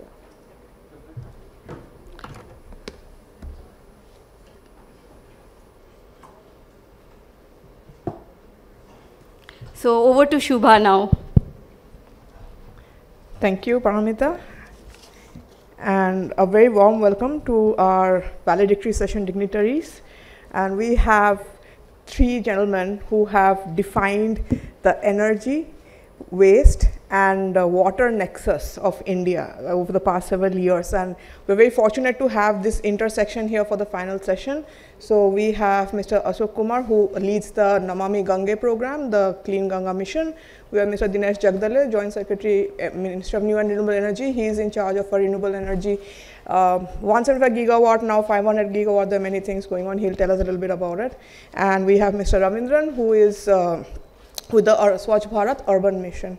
And we have with us Nicola. We have Mr. Vaidya, of course. He's going to, uh, he says he will not say something, but maybe if you think something is yet to be said, please do chip in, sir. Yeah. And we have Nicola, who's our lead moderator, and he's going to start off with one question to each of our uh, panelists. And okay, so we have a very aggressive timing thing also. So we want to keep your uh, replies to three to four minutes, not more than that. And we also have a very general audience, as you can see. So we would like to keep the answers a little broad based. Nicola, over to you. Shuva, thank you so much. Just for the sake of time, at what time do we need to wrap up this uh, discussion? I think by 1.30 should be good, 30 1:30, minutes, right. yeah. Okay, so thank you, uh, thank you, thank you. I, I hope everybody has time because we're starting a little later than we had Yeah, planned. okay, so Yeah. thank you, thank you very much. It's uh, a, a real pleasure to be here uh, after this uh, incredible journey in the past uh, one and a half days. Uh, I think you have uh, felt the energy and the passion in the room uh, on a topic which is sometimes a little bit uh, difficult: circular economy, resources for the future, uh, as a, as a concept as it is uh, positioned here. But uh, people stayed. Right? That's a good. That's a good sign. Um, of course, they stayed because they knew you would be coming, uh, but uh, and they were very eager to show their interest. But uh, the way I think this uh, was uh, crafted uh, with the with by NIUA, with uh, with UNEP, uh, uh, with the strong input from uh, uh, GIZ. Uh, the different partners and the Global Solutions Initiative. Uh, I've got colleagues from GSI here also, which I am humbled to represent as a, as a fellow, is uh, one illustration of uh, how things are changing quickly. If we would have had this conference maybe five or ten years ago, it would have been a lot about development cooperation and uh, uh, learning from best practices and uh, how could be uh, some of them implemented in the Indian context. And we, then we have uh, bumped in the issues of capacity building, and then somebody would have raised the uh, issue of the lack of capital and so on. Turning the page and now, I think it's not just a few years later, it's a leapfrogging. Um, we have uh, different national programs, flagship programs, the Ganj uh, uh, revitalization program with here um, uh, Mr. Ashok Kumar as the Director General of the National Mission for Clean uh, Ganga.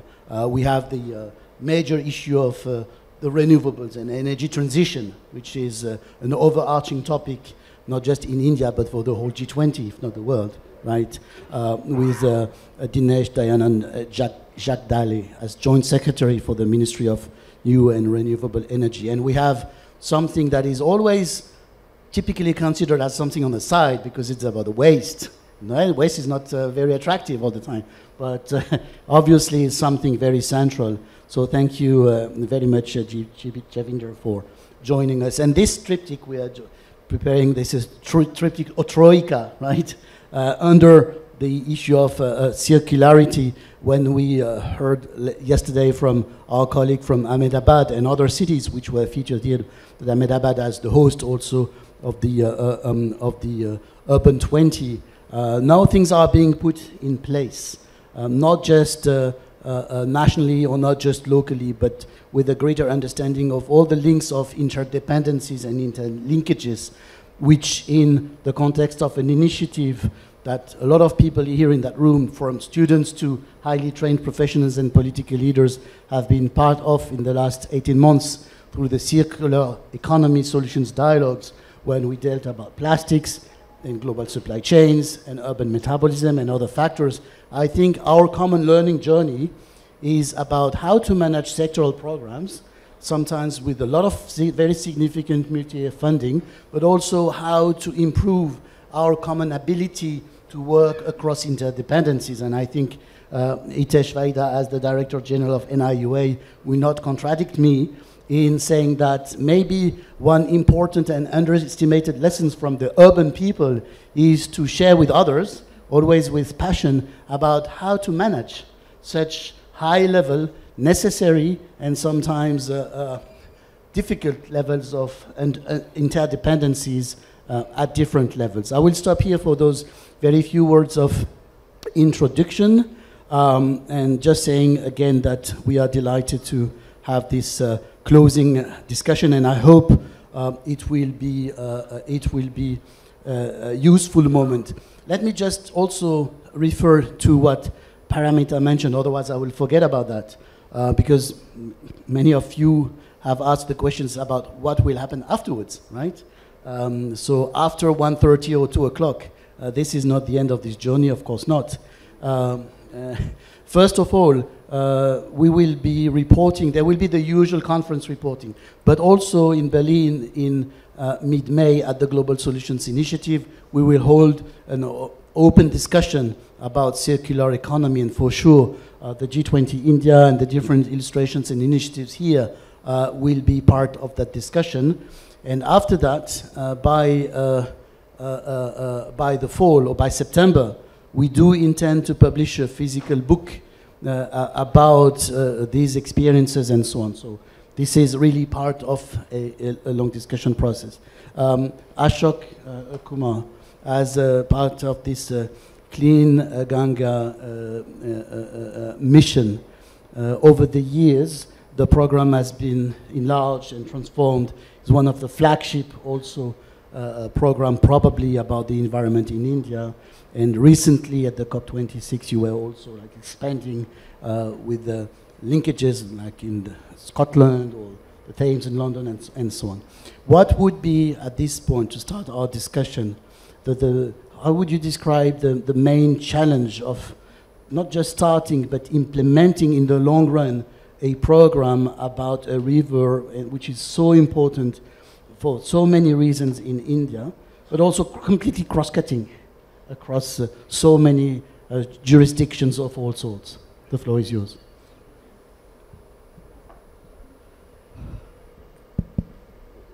Thank you. Uh, thank you, Nicholas. And I uh, congratulate the organizers of this conference because it's at uh, the right time uh, we are having this conference. And again, thanks for inviting me because Namami Gange has just been uh, recognized as one of the 10 flagship programs of the world by the UN in the COP20. And one of the reasons for that was the, uh, the, the evaluation criteria which it had was uh, one, uh, which was stopping the environmental degradation, reversing it, and then people's participation.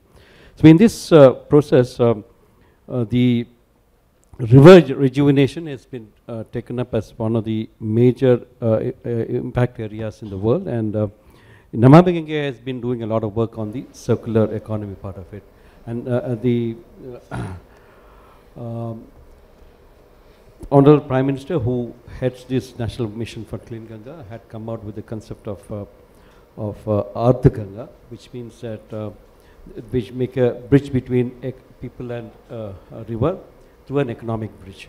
And, and one of the pillars of that is uh, recycling of water and uh, monetization of sludge. So uh, if you look at it, uh, the sustainability of the program which we have been doing it for uh, many years and, and then trying to clean up this uh, river Ganga and its tributaries uh, is very much dependent on the, circularity of the water. Because uh, for a river there should be water flowing in the river. Otherwise it's not a river. It could be a, just a, a stagnant pool which is the case like in Yamuna where you have uh, stagnant water and because of that there's a lot of dirt.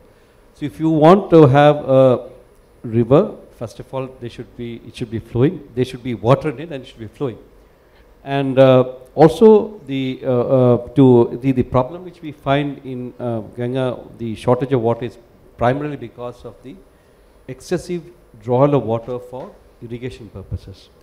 So uh, irrigation accounts for 85% of the water utilization of the country, and the dams which built uh, which are built on the upper parts of the Ganga uh, draws in a lot of water, and that actually uh, reduces the flow of water and impacts the environment of the river. The fishes, the biodiversity is all affected by the uh, absence or, or the less water flowing in, and that actually unfortunately is uh, replaced by dirty water from the sewage and the industrial effluents. So not only good wa- water is prevented from flowing into the river, but we are having dirty water from the uh, uh, from the uh, industrial effluents and the agriculture, uh, uh, the runoff from that and the sewage, replacing that good water. So that's where the biggest challenge. So the uh, best way to address this issue is to have the circularity where the water used in agriculture can be the water which is uh, taken up uh, from the sewage, treated water can be brought back for irrigation purposes, which in turn would uh, sort of uh, uh, reduce the abstraction of water from the good sources. So if you look at it, uh, that's the best circularity of it. That means you, the, the water which is presently being drawn from, go- good water presently drawn from a river as well as the groundwater can be replaced by the treated water from the sewage plants which we are building and that uh, uh, can make two things happen. One, uh, the circularity will be there. Second, the reduces the abstraction of water from the groundwater table and, uh, and thereby reducing the exploitation of groundwater. And second, it also lets good water to flow down the river. So these two things are affected, uh, uh, appreciated. That's why when the Prime Minister who understood this concept and said that we should have focus on, on um, rejuvenation of, uh, uh, sorry, on uh, uh, monetization of uh, dirty treated water and also monetization sludge. We have actually taken up a lot of initiative in that. We have tied up with the uh, the uh, many agriculture uh, departments of the states to check up to use uh, to promote uh, the usage of treated water. Second, we are tied up with the uh, with the industrial industrial uh, establishments, particularly the. Uh, one more minute. One more minute. One more minute. How many minutes? Acha. So where is the timing coming up? I want to know where is the timing coming up. Flat. Okay, fine. So I have to. good. Ah, so second important thing is that we have tied up with the uh, uh, the thermal power plants. Um, almost 13. Uh, we have started with 24, but uh, ended up with uh, about uh, 13 thermal power plants, uh, which are uh, 50 kilometers on the radius of the existing STPs. We have tied them, uh, tied up with them for that they use the treated water for their uh, uh, for their uh, um, uh, non-potable purposes. And also we have tied up, we are already supplying treated water to the IOCL in Mathura in one, for the one of the users. So this is one very major thrust which Namami Gange have taken up. Second very important thing is uh, we are estab- establishing uh, CETPs, common uh, effluent treatment plants, the one in Kanpur which is coming up, which I was there yesterday also, where the resources being re- recovered from the effluents of the tannery of the and the chroma, chromium and etc. is being re- recovered, and uh, the water is actually put back to the uh, to the uh, to the industry, and we are looking at a zero liquid discharge concept. So that again is one of the very major in- interventions which we are making. And similarly, uh, the sludge which comes out of the uh, the uh, the treatment plants, which is we are now finding it's difficult to dispose of the sludge. So sludge is another uh, important uh, uh, outcome of the sorry byproduct of the treatment plants, which we are now trying to make it as a fertilizer or a or a uh, soil conditioner by appropriately adding uh, the, or fortifications to be done and then use it for the economy. So that's natural uh, natural farming. So it all fits into the entire picture where we are promoting natural farming uh, where also we look at the reduction of the use of uh, chemical fertilizers in, in agriculture, where we try to replace those chemical fertilizers by the soil conditioners from the uh, from the uh, from the sl- uh, sludge, etc., etc. That is one another circularity we are talking about. Uh, National Mission for Clean Ganga has come out with the national framework for use, uh, safe use of treated, uh, treated water, which we have sent it to all the states. And we have now formed the River City Alliance, the other group with NIU. The River City Alliance, uh, where we are telling that we should uh, uh, work together to use river as a growth engine.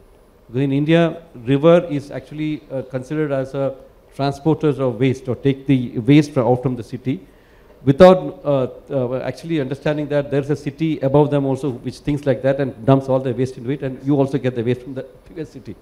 So that's linearity has to be changed. The linearity in thinking of the municipal commissioner has to change. And uh, we are asking the municipal commissioners to think that the river which comes in should leave, uh, should go out of your city with the same quality or a better quality than it came in. That's what we are trying to look at it. So there again, uh, the uh, circularity concept comes in that the water which is uh, used in this city should be treated and put back to the river so that it increases the probably flow of water in the river and, and also reduces the BOD load in that. So this, this concept of, of, uh, of uh, um, getting the municipalities involved in circularity, we have started the process long back. Thank you about it. And last point I would like to add is uh, uh, there are also uh, the cross-cutting things about the transport, the transportation factors, the energy, etc. coming here. We find that the decentralized solutions for sewage treatment as well as decentralized solutions for rainwater harvesting are being promoted so that the energy requirement to pump a lot of water from other parts of the uh, long distances like Hyderabad I know a bot is pumped from 100 kilometers away. This type of, uh, of, uh, uh, of systems which require a lot of pumping of water from large distance can reduce it. So if the water is captured, stored there and it is circulated in that economy, that will be much better to, to for reducing the carbon content as well as reduce the carbon footprint. Thank you. Thank you, thank you so much. I will have another question for you afterwards about what the G20 sequence can bring to such a, a very, very large scale program, but uh, I know Shuva is managing time very tightly, so, uh, and we need to, to move on. I will turn to uh, uh, Joint Secretary uh, Jagdale about another uh, uh, very, very important and uh, uh, recent uh, national program um, about the energy transition and the uh, installation of over 500 gigawatt, right, of energy, electricity supplied by renewables and, or non-fossil fuel sources. Um, we have heard from uh, Dr. Kumar about uh, the different levels of interaction, and thank you for finishing by highlighting the problem of the sometimes the, the involvement at local level, right, and the fact that rivers are just considered as a second, second secondary issue. So, in the context of uh, accelerating and implementing this energy transition, um, how do you view the uh, linkages between the national ambition and uh, the role of, let's say, cities uh, about uh, to accelerate the implementation? Thank you. Thank you for your question. Uh, ladies and gentlemen, thank you. It is, uh, it- it's, you know, when Shua requested me two days back, it was wonderful to see the circularity being discussed and we being apart from the renewable energy side, being invited to discuss on how our role has been till date. And obviously, uh, when Nicola asked about our ambitions, yes, our ambition is 500 gigawatt of non-fossil capacity to be installed by 2030. And we, when we have embarked this program, I think what we, three, our three fundamental pillars of electricity is, one is obviously making access, making uh, energy available to the end user, the consumer, to the grassroots level, whether it's urban, whether it's rural. Second is making it secure, making it from your resources that you are comfortable with. And thirdly, making it green. And these fundamental energy parts of this entire transformation has led to this growth story. And Honorable Prime Minister announced it in COP26 that we as a country who has committed to climate change, who knows the importance of climate change, will now endure to have a very ambitious target of 500 gigawatt. What we have done to ensure this and how our uh, efforts are citizen focused, citizen centric energy transition is the theme that we talk about. Uh, so when we look at our various programs, and I want to really answer your question in, in, in pinpointed is, when we talk about our programs, we talk about large solar parks, large wind parks. What does that bring? That brings greenness to the grid. That greens the grid. When we talk about our rooftops, we talk about rooftop programs. What does it do? It includes the consumer into the overall energy transformation system. What it does is it actually empowers the consumer to become a prosumer. A prosumer is that one who actually produces clean energy and also which consumes the clean energy at the same time, same point of time. So that we have done.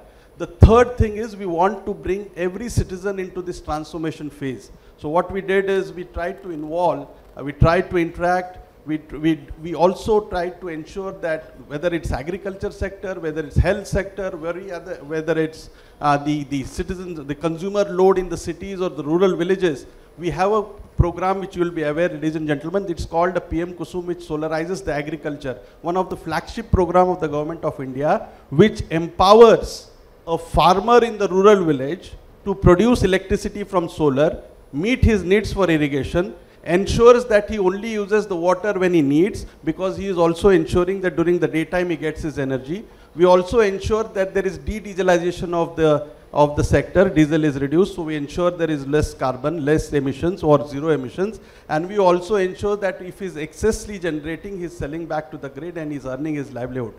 Now that kind of circularity is being bought when we are delivering our programs. Thank you for one minute, but let me complete it. Uh, so what we are trying to, to do with this is that we are trying to involve, empower the citizens in the circularity aspect. Circularity is not only electricity as we all spoke, it is also talking about waste wealth.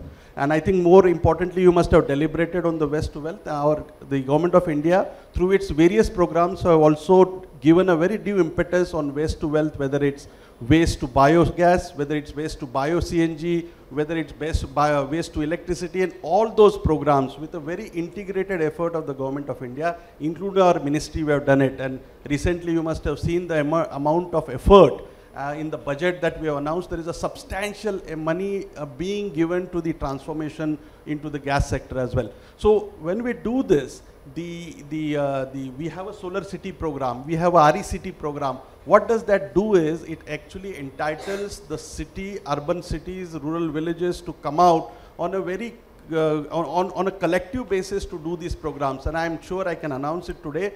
We have the Modhera town, which is 24 by 7, elect, uh, which is on solar.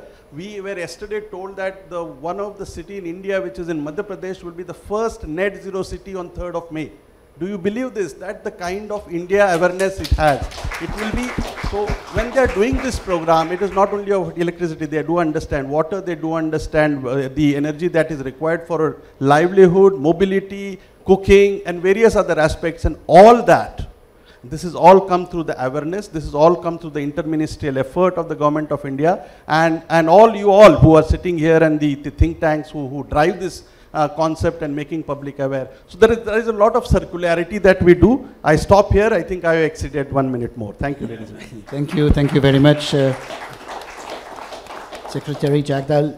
One question maybe for to think about for the second round of uh, exchange, if we have time, is about for if I'm thinking about the situation of Indonesia um, a year ago when they kind of started also to engage into this uh, energy transition, which India is also doing at an even larger scale, given the size of the country and the population. Uh, one major hurdle was how to convert international financing into financing that could apply, of course, nationally and then locally, because usually there are no tools. Or you have got existing programs from international financial organizations. I suppose this would apply also in the context of water. And then they came up with a number of solutions, including a new national organization to guarantee all the funding like for the energy transition mechanism. So if we have time, it might be just interesting to lightly touch upon whether such issues are also uh, a, a priority, and then maybe uh, uh, with the uh, Itesh Vaidya, uh, how cities can be accustomed, because whether it's India or France or Germany, etc., uh, the situations are different, but the challenges do resemble a lot, right? So, but let's keep that for a, a second moment and uh, to uh, continue in this uh, uh, uh, circulation of issues from water and wastewater and all related energy, en- energy issues and energy transition. Um, one of the also long existing programs nationally in India, the Swachh Bharat mission, has been there for a while now, and uh, you have had to cross a fantastic number of challenges uh, to implement it. Uh, you have tested solutions, some of them didn't work, you had to reorientate, etc. So, at this, uh, at this moment, uh, in a nutshell, what would be the main gain after a few years of implementing this uh, uh, Clean, India, in, Clean India mission? Maybe the measure of success, but also how you manage to overcome uh, uh, that, such a considerable number of hurdles, especially because you were dealing with not just a couple of dozens, but uh, hundreds, if not a thousand, of sites in the country all at the same time.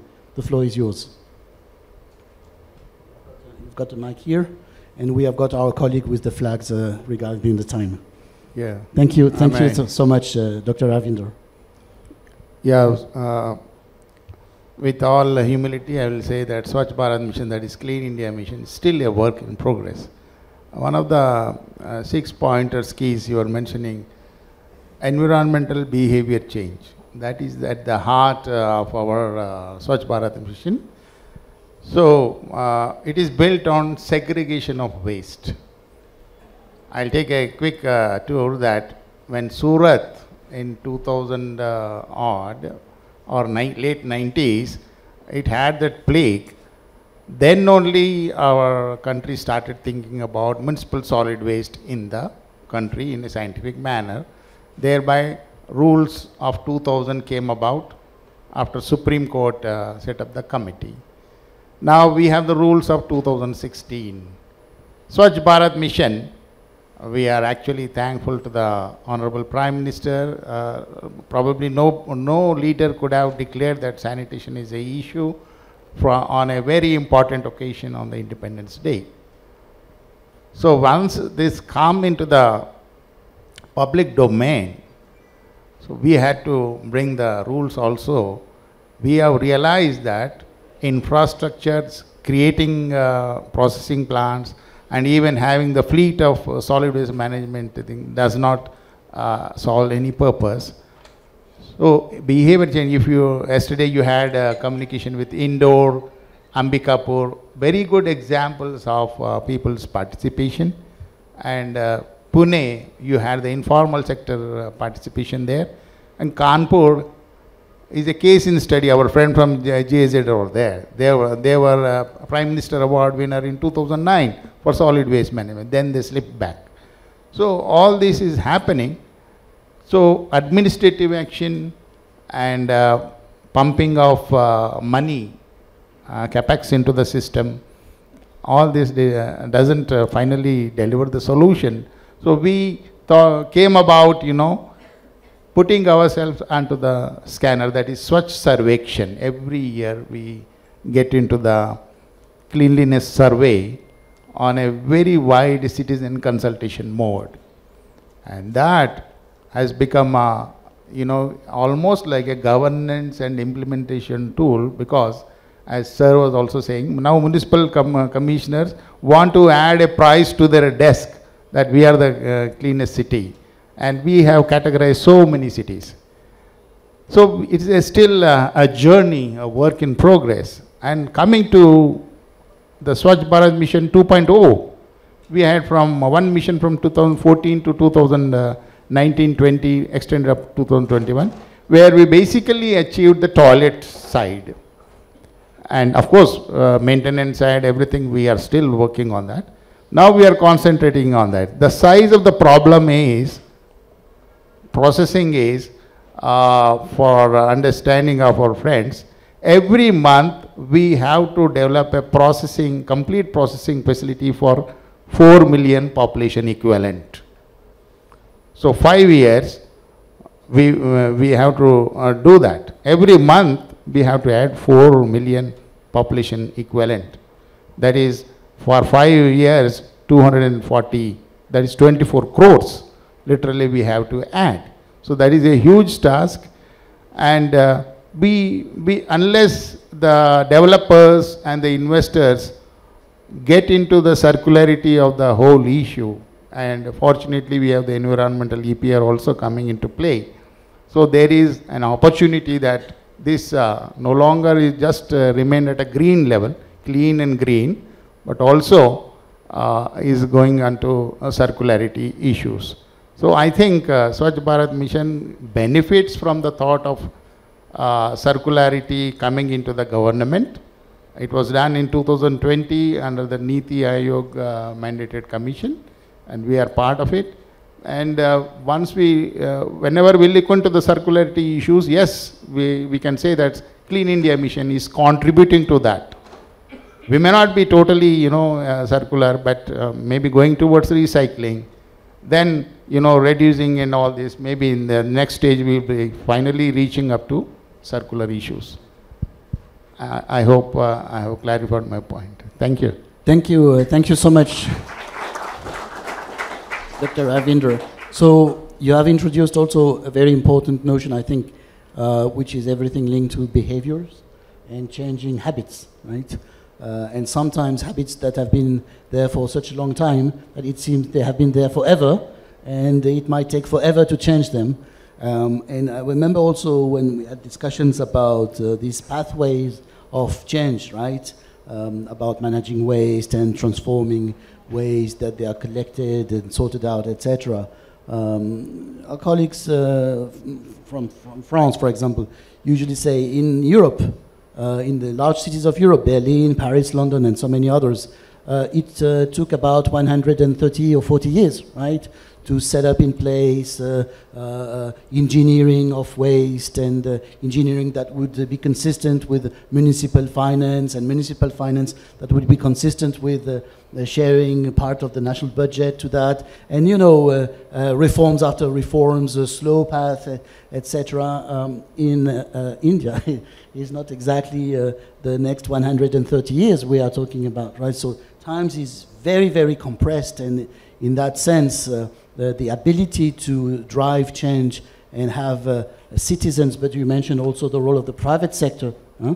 um, to be part of the uh, equations is absolutely fundamental. Sometimes it is underestimated um, what we need to push uh, uh, this, uh, to push time to go faster. And maybe uh, to, to finish this uh, first uh, uh, uh, roundtable, but also looking at the time, Itesh, um, as an urban specialist, you are a specialist like of good whiskies, like a blend of many different components or tea leaves or etc. How do you, what is your view about these massive transformations in the energy sector or the uh, pursuit of the Ganga River uh, project or the Swachh Bharat mission? How, how do you feel the role of cities should be or could evolve to contribute to a, I would say, a comprehensive transformation in all those domains? What would be, from your experience and maybe from the Urban 20 perspectives with all the exchanges that you are driving with other cities in the region and worldwide, a couple of ideas to take away from this discussion? Uh, no, sorry, I, I thought uh, I'll not be speaking, I'll only be giving vote of thanks because I will take a uh, use of the presence of the stalwarts who are technically uh, supporting and working with the cities. Uh, but what I, I, you know, if I have to ask from the National uh, Institute of Urban Affairs, I see uh, we are doing a lot of work. Uh, uh, you know, a lot of good practices are happening at the city. But, uh, but if we want uh, city officials to be really, uh, you know, leapfrogging the word you used, uh, is then uh, we have to have this language of circularity to be the language of cities. And for that, I think uh, uh, the, all these big uh, uh, visions or aspirations which we have have to be translated to that language where cities start understanding the role, the need, and it should not be a top down, but it should start coming up from bottom up. And that requires a lot of hand holding, skill set, and capacity issues. And I think they all have to be really thought of. So I think role of think tanks like National Institute of Urban Affairs, CEEW, is to really generate that demand, work with the cities at the ground level, uh, so that policies can only give an enabling framework. But enabling framework can has to be implemented. And I think the more uh, thing, because these are sub subjects at the local level, need an action has to happen at a uh, local level. I think this need to be translated to the local level. Thank you, thank you very much for this uh, uh, very insightful remark, and I think because what we can see uh, a little bit the world, the world over, but especially as part of this Indonesia, India, then Brazil, Troika in the G20, is that uh, there is a different approach to the role of cities, and that national programs or the uh, implementations of very broad ambitions cannot go without cities, but cities also have to evolve in the way they interact with these uh, uh, global and, and, national directions. So for the, um, for the next stage of our, our discussion, Shuva or uh, Paramita, I understand we have a little bit of time for Q&A, right? Um, yeah, I would actually like to ask uh, if everybody has 10 minutes extra, can we extend the panel because we're over time already? Yes, we are, we are three minutes over time. Can we, can we take, can we take 10 more minutes of your time? Right? So fantastic. Right. Then we have time for. Uh, More than the Q&A, uh, Nicholas, I... Yes? is there a vote of appreciation that we take 10 more minutes? So I actually want to bring in our city commissioners also for one uh, minute each. So we have several um, city representatives here, but before that, I want to have one specific question to all our three panelists. Unless Nicola, you have something more to ask. Please go on, Shubha. No, because uh, because it involves the cities, and they have been working with international cities as well, and our cities have also been showcased internationally. And I want to ask Mr. Jagdale because he's working on something called the Energy Compacts program with the India as a global uh, champion for energy transition, and that has been something in which we've involved our smart cities for the last year and a half. Uh, I also want to ask uh, Mr. Ashok Kumar and uh, Mr. Ravindran that, uh, uh, I mean, you have covered a lot of ground, but when you talk of G20 or we talk of international platforms, a lot of times the best practices are only seen as coming in from outside, but we are handling millions and millions of people and a myriad of problems every day. So what are some of the best practices that you have already shared internationally or that we can showcase ahead? So we'll start with Mr. Jagdale and then we'll uh, go to uh, uh, Mr. Ravi and we'll close, I think, with uh, Mr. Ashok Kumar. And Thank you. we'll- Yeah, so Yeah. Yeah. Thank you and appropriate time to really uh, deliberate on this and inform the audience about, yes, uh, it's very, uh, you know, I'm really proud to mention here that India is a global champion in energy transition and this was announced in uh, by the UN um, when the UN Energy Dialogue was held and we were assigned to really create the further take this journey, you know, this is a decade of action. By 2030, we have to ensure the SDG 7 is, is fulfilled across all the entire world. And India being a global transition, uh, global uh, energy transition champion, uh, what we did is, uh, you know, we created a mass movement on ensuring that there is a larger participation on what an individual can do, what a community can do, what an industry can do, what cities can do, and what governments can do. Now, what, what they do is in the sense that how can they raise the level of their commitment towards green energy, or what can they do towards complete circularity by 2030, and what is the amount. So it was a voluntary ass- assignment, it is a voluntary to all, but glad that we were the amongst the top in the world that there were 22 such entities from the government of India, including the government of India and various other institutions that came forward and voluntarily announced their targets about energy efficiency, energy, uh, renewable energy capacity addition, and all other several aspects when we talk of SDG 7. And I would like to mention the you know, cities. You know, this is, this is substantially, and we talk about circular cities today, there were six cities from various states that came forward, and those six cities were Ayodhya from Uttar Pradesh, uh, Indore from Madhya Pradesh, New Town, Kolkata from West Bengal, Pimpri Chinchwad from Maharashtra, Rourkela from Odisha, and Surat from Gujarat. They voluntarily came forward. Big round of applause for all of them. Uh, and subsequently to this, when they came up there forward, in, in front, uh, huge uh, thanks to the Shuas and the team, to actually took them to the level of micro planning and what they should do by end of 2013 every year and every year they have to actually put their uh, plans and what they have achieved over the, over the last year and then this goes on the uh, to the UN as a report card and uh, even though it's voluntary there is there is we are all watching because this energy compact has to be measurable has to be impactful has to be sustainable. And this is the kind of commitment that we as Indian cities and we from all and very proud to ensure that this six cities are role model for the entire world and when we talk about those top, top cities in the world, I'm sure all these cities which we are mentioning here, which are present here, nevertheless, they're not less, but they're equally good. And I'm sure over the next 10 years, they will be much brighter than they're what today in terms of energy, in terms of circularity, in terms of wealth improvement. Obviously, the last thing is improvement, the livelihood of the citizen who is staying in that city. Thank you. Thank you very and, much. and just to add to what uh, Mr. Jagdale said, when the first round of commitments was over, India had given half the total commitments that came in from the world, $74 billion worth of commitments from across the world. India gave 36 billion of that. Okay. Uh, Mr. Ravi and Mr. Yeah, just bef- just Yeah. a quick note on that. Yeah. No, no, no. It, uh, oh, no, no, no, no. But just uh, because you, you mentioned that in the cities, and we have also our uh, um, uh, c- c- cities here, and there will be uh, such an important review of the SDGs and SDG 11 at the UN in the beginning of uh, July. Would definitely make a lot of sense. I was thinking that a number of these experiences from Indian cities could be brought to others. Yes, So yes, let's uh, keep on Perfect. checking how we could do that. So, Shuva, continuing Mr. this uh, discussion with the yeah. to talk of how we are influencing the global co- Uh, I'll take the mic from him so that he doesn't speak.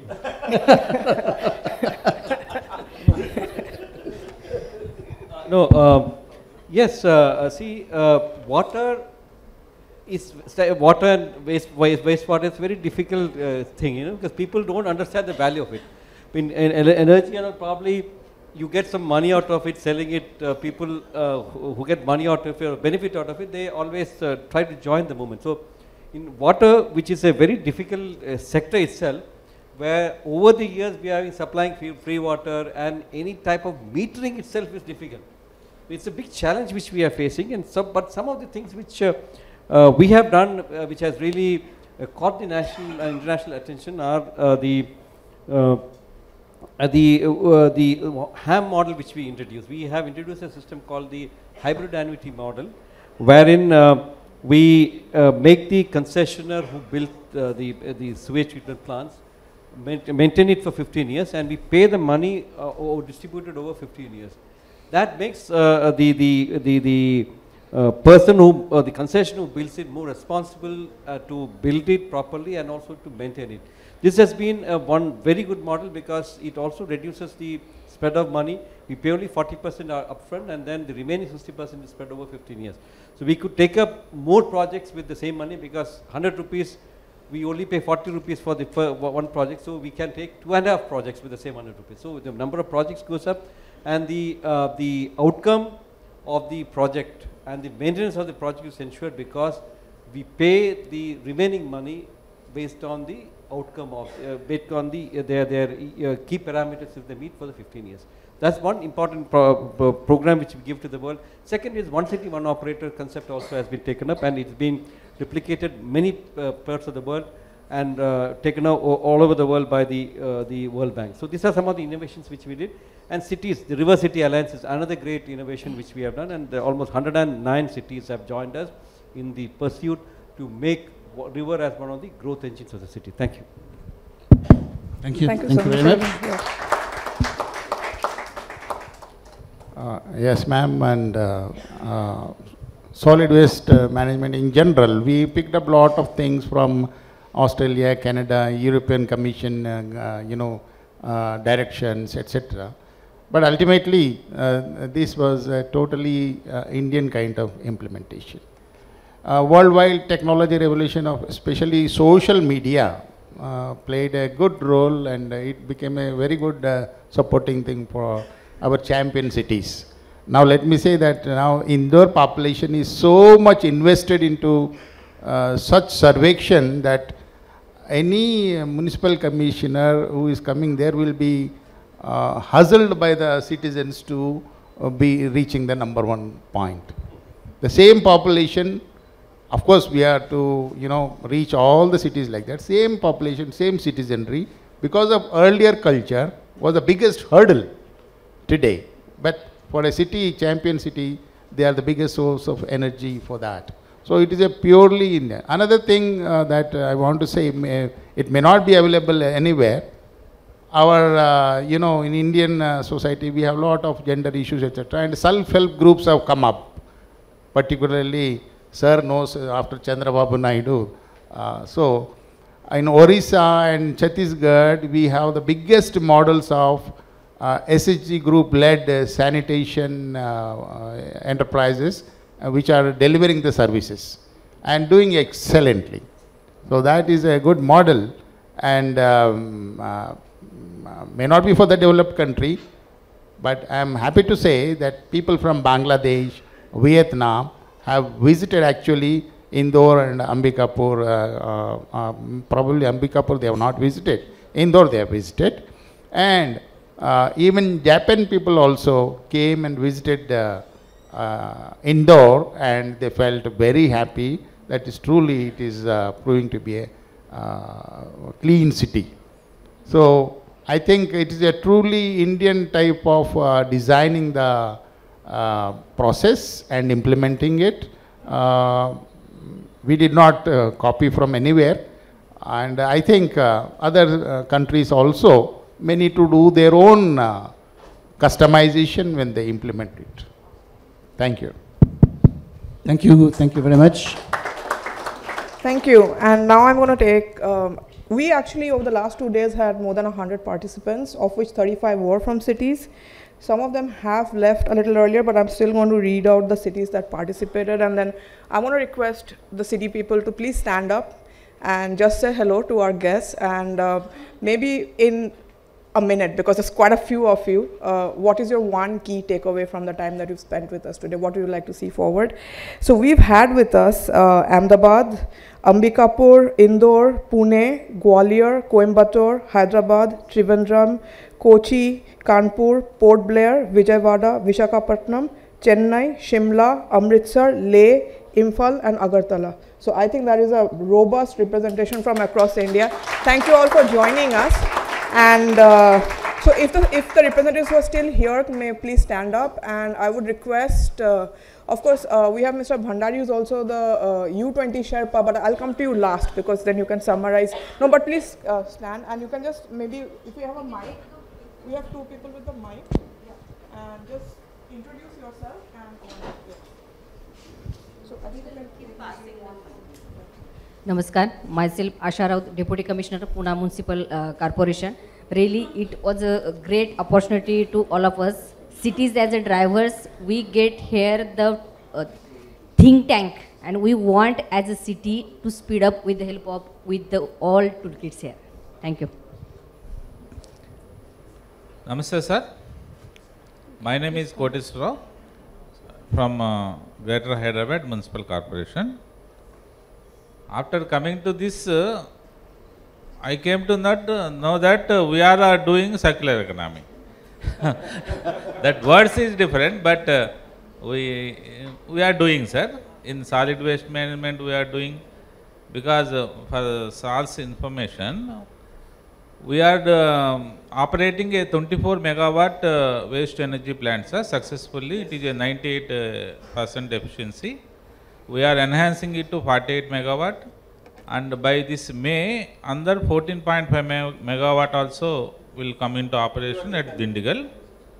And uh, our plan is to, our ministers uh, targeted uh, like uh, 100 megawatt uh, by next couple of years.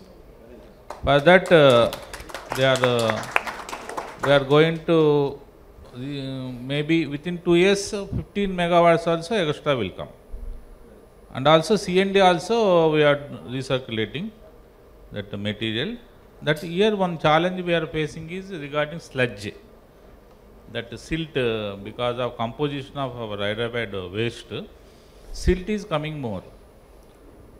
That uh, maybe uh, I posed a this uh, challenge in the study meeting. So, some of our uh, ex-CE has given some solution. We try to implement. And I also explore there are so many um, fields for circular economy I came to know.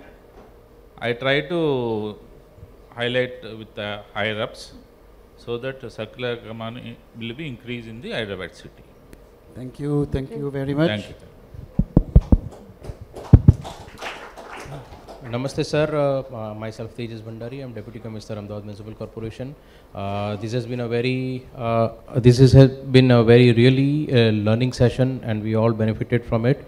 Uh, my key away, my key takeaway from this conference is to break away the silos which is existing in different departments of our organization, and uh, because circular economy is one thing that in uh, one or another case we are practicing, but we need to have more energy between the departments. So uh, that is my key takeaway. And uh, your sirs, your presence has really been very inspiring for us. Thank you very much. Thank you, thank you very much. Namaste, sir. I'm Satyavati, Additional Commissioner, Vijayawada Municipal Corporation. Yes, sir. Uh, uh, this conference is uh, very much useful to us. We are all implementing whatever the key points we are, whatever we are discussed, but it is very much help to us, uh, very much better in our city. Thank you. Thank you very much. Good afternoon, sir. I'm Pratishtha Mamgain, uh, 2018 batch IS officer, currently posted as Commissioner in Ambikapur. It was a great learning experience because not only we had exposure to uh, other case studies from the country but also internationally. Um, one request would be that there should be greater focus on smaller cities, sir, because particularly in Indian context, we are rapidly urbanizing. So we need to focus more on the smaller cities and how they cope up with the solid waste management. Thank you so much. Thank you very much. Hello. Uh, good afternoon, sir. I am Ashish Kohli, Commissioner, Municipal Corporation, Shimla. It was a great learning experience and would, I would try to implement the things I have learned here. My request to uh, uh, Rajinder sir would be like in Swachh Bharat mission, we have tried to improve our position. We came from uh, 102nd uh, to 56th position uh, last year and uh, we are trying to improve it further. But I think uh, like a lot of hand-holding is required for the all the ULBs. Uh, we keep on improvising upon ourselves. We are at sea most, most of the times, like how the waste is to be processed, be it, uh, say, waste to energy plant, or be, be it uh, from waste to, uh, say, composting plant. So if uh, some agencies could be impaneled uh, by, say, the government of India, it would be, uh, it would uh, benefit the ULBs at the field level. Thank you so much. Point well noted. Thank you very much. Uh, good afternoon, sir. My name is Ishe Namgyal. I am from Leh municipality. Uh, I am elected representative. I'm the president there. So it was a great learning to platform. In fact, uh, the bottom line which I learned is live simply, reduce, reuse, life, life. there's life. And sir, that goes very well with the concept of, uh, you know, Buddhist social socialism. Thank you, sir. Thank you very much. Last but not least. Good afternoon. I'm, I'm Binu Francis, uh, Secretary, Trivandrum Corporation, like a uh, Commissioner States. Uh, see, we have three stalwarts uh, from a different uh, thematic area like uh, water supply, sanitation, and energy. Fortunately, Trivandrum Corporation so recently joined us the city, River City Alliance last month, maybe or not eight them as a member, and selected as a solar city by the ministry. Also, the Swachh mission, we are in 2014 uh, 15 onwards. Okay. See, uh, these are uh, working towards the uh, carbon neutral that is committed by the government of India by 2070. Uh, many of the cities have already initiated some of the uh, strategic movement towards achieving this, like Mumbai have started with this kind of things, committed to have these kind of things in 2050. So, we are also Trivandrum Corporation also exploring the possibility of combining all these activities, these kind of things, to have these kind of things by 2035. That is our takeaway from this section. Thank you. Thank you. Thank you so much. With this, uh, um, I will pass it on to Hitesh for the vote of thanks. Stay with us this afternoon. We are, no, no, this afternoon, no. It's, we're free to go. So, Hitesh, the floor is yours. Thank you so much.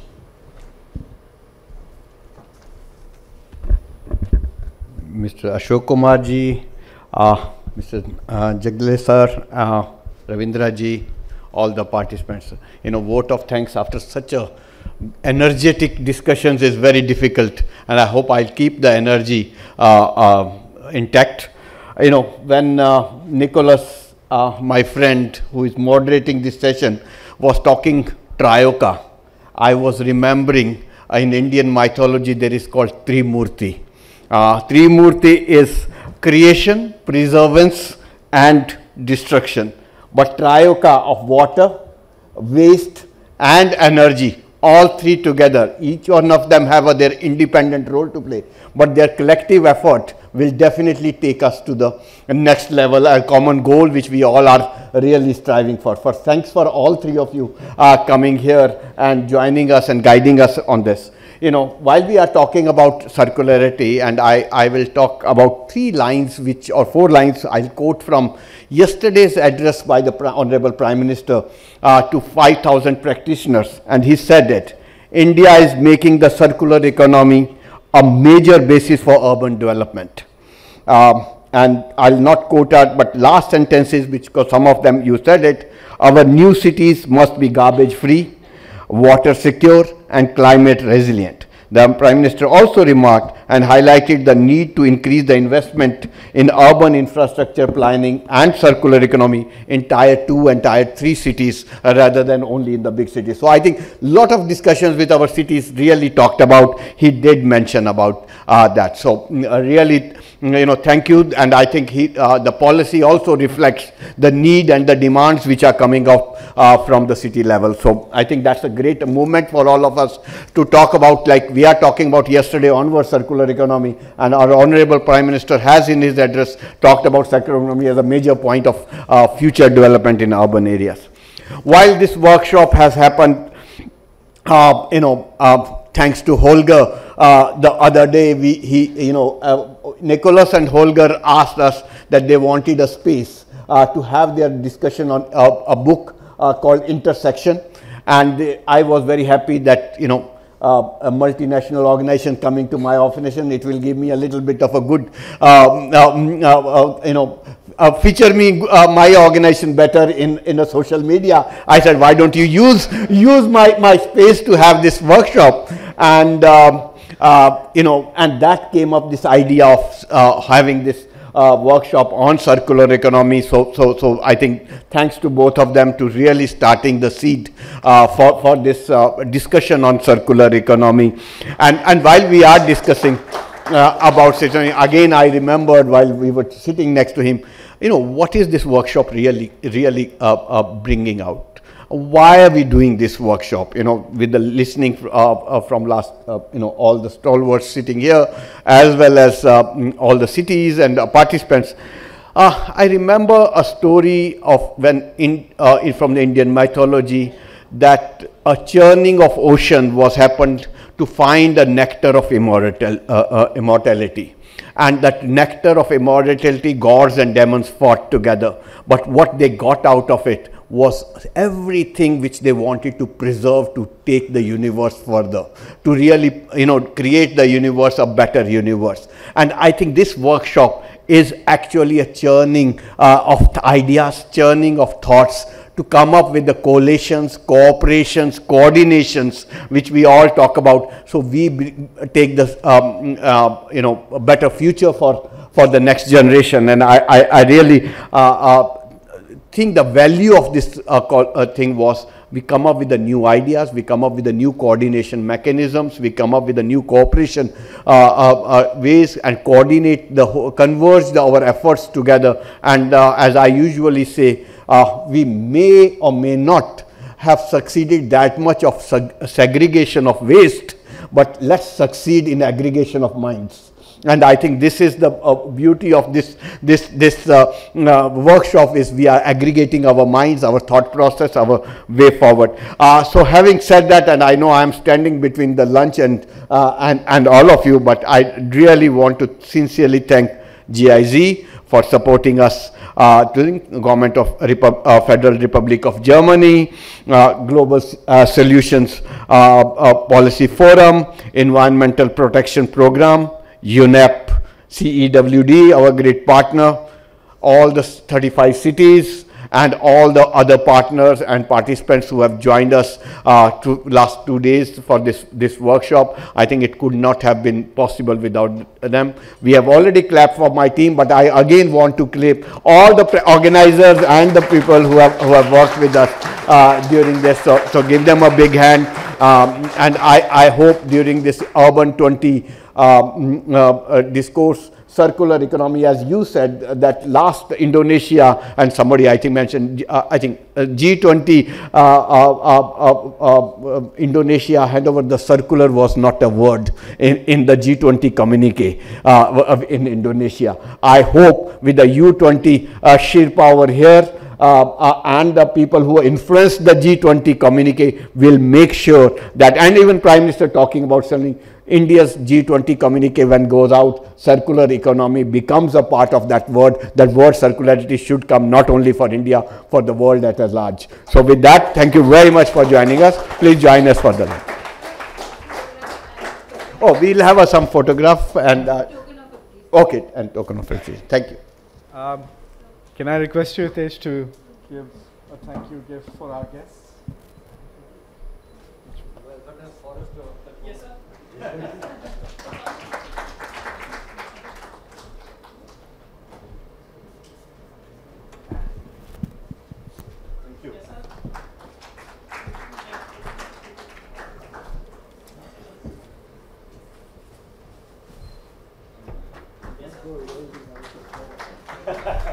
We would request uh, all the city uh, representatives to please come and join us for the group photo. Have we given? Yeah, please come. Uh, we'll take the photo with all the city representatives.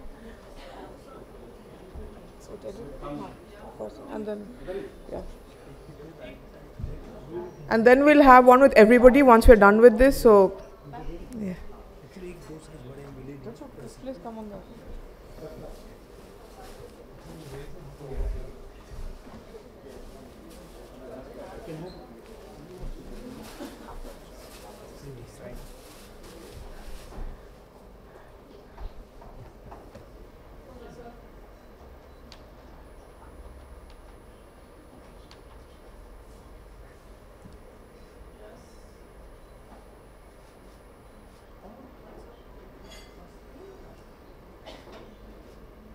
All right. Okay. Everybody, please wait two minutes, and everybody else, yeah, whoever wants to take a photo with our dignitaries, please come over here. And very quickly, we are not going to wait for you. oh, everybody, everybody went away. See if nobody moved quickly enough. yeah, please come and take a photo. Yeah. No, no, no. Please be, please be. Yeah. Come, come, Pa- you go in the front. Yeah. Please come for a group picture. We've had one on day one. This is for day two. Please. Yeah. Can everybody please quickly come on Yeah, the please stage? come quickly. Yeah.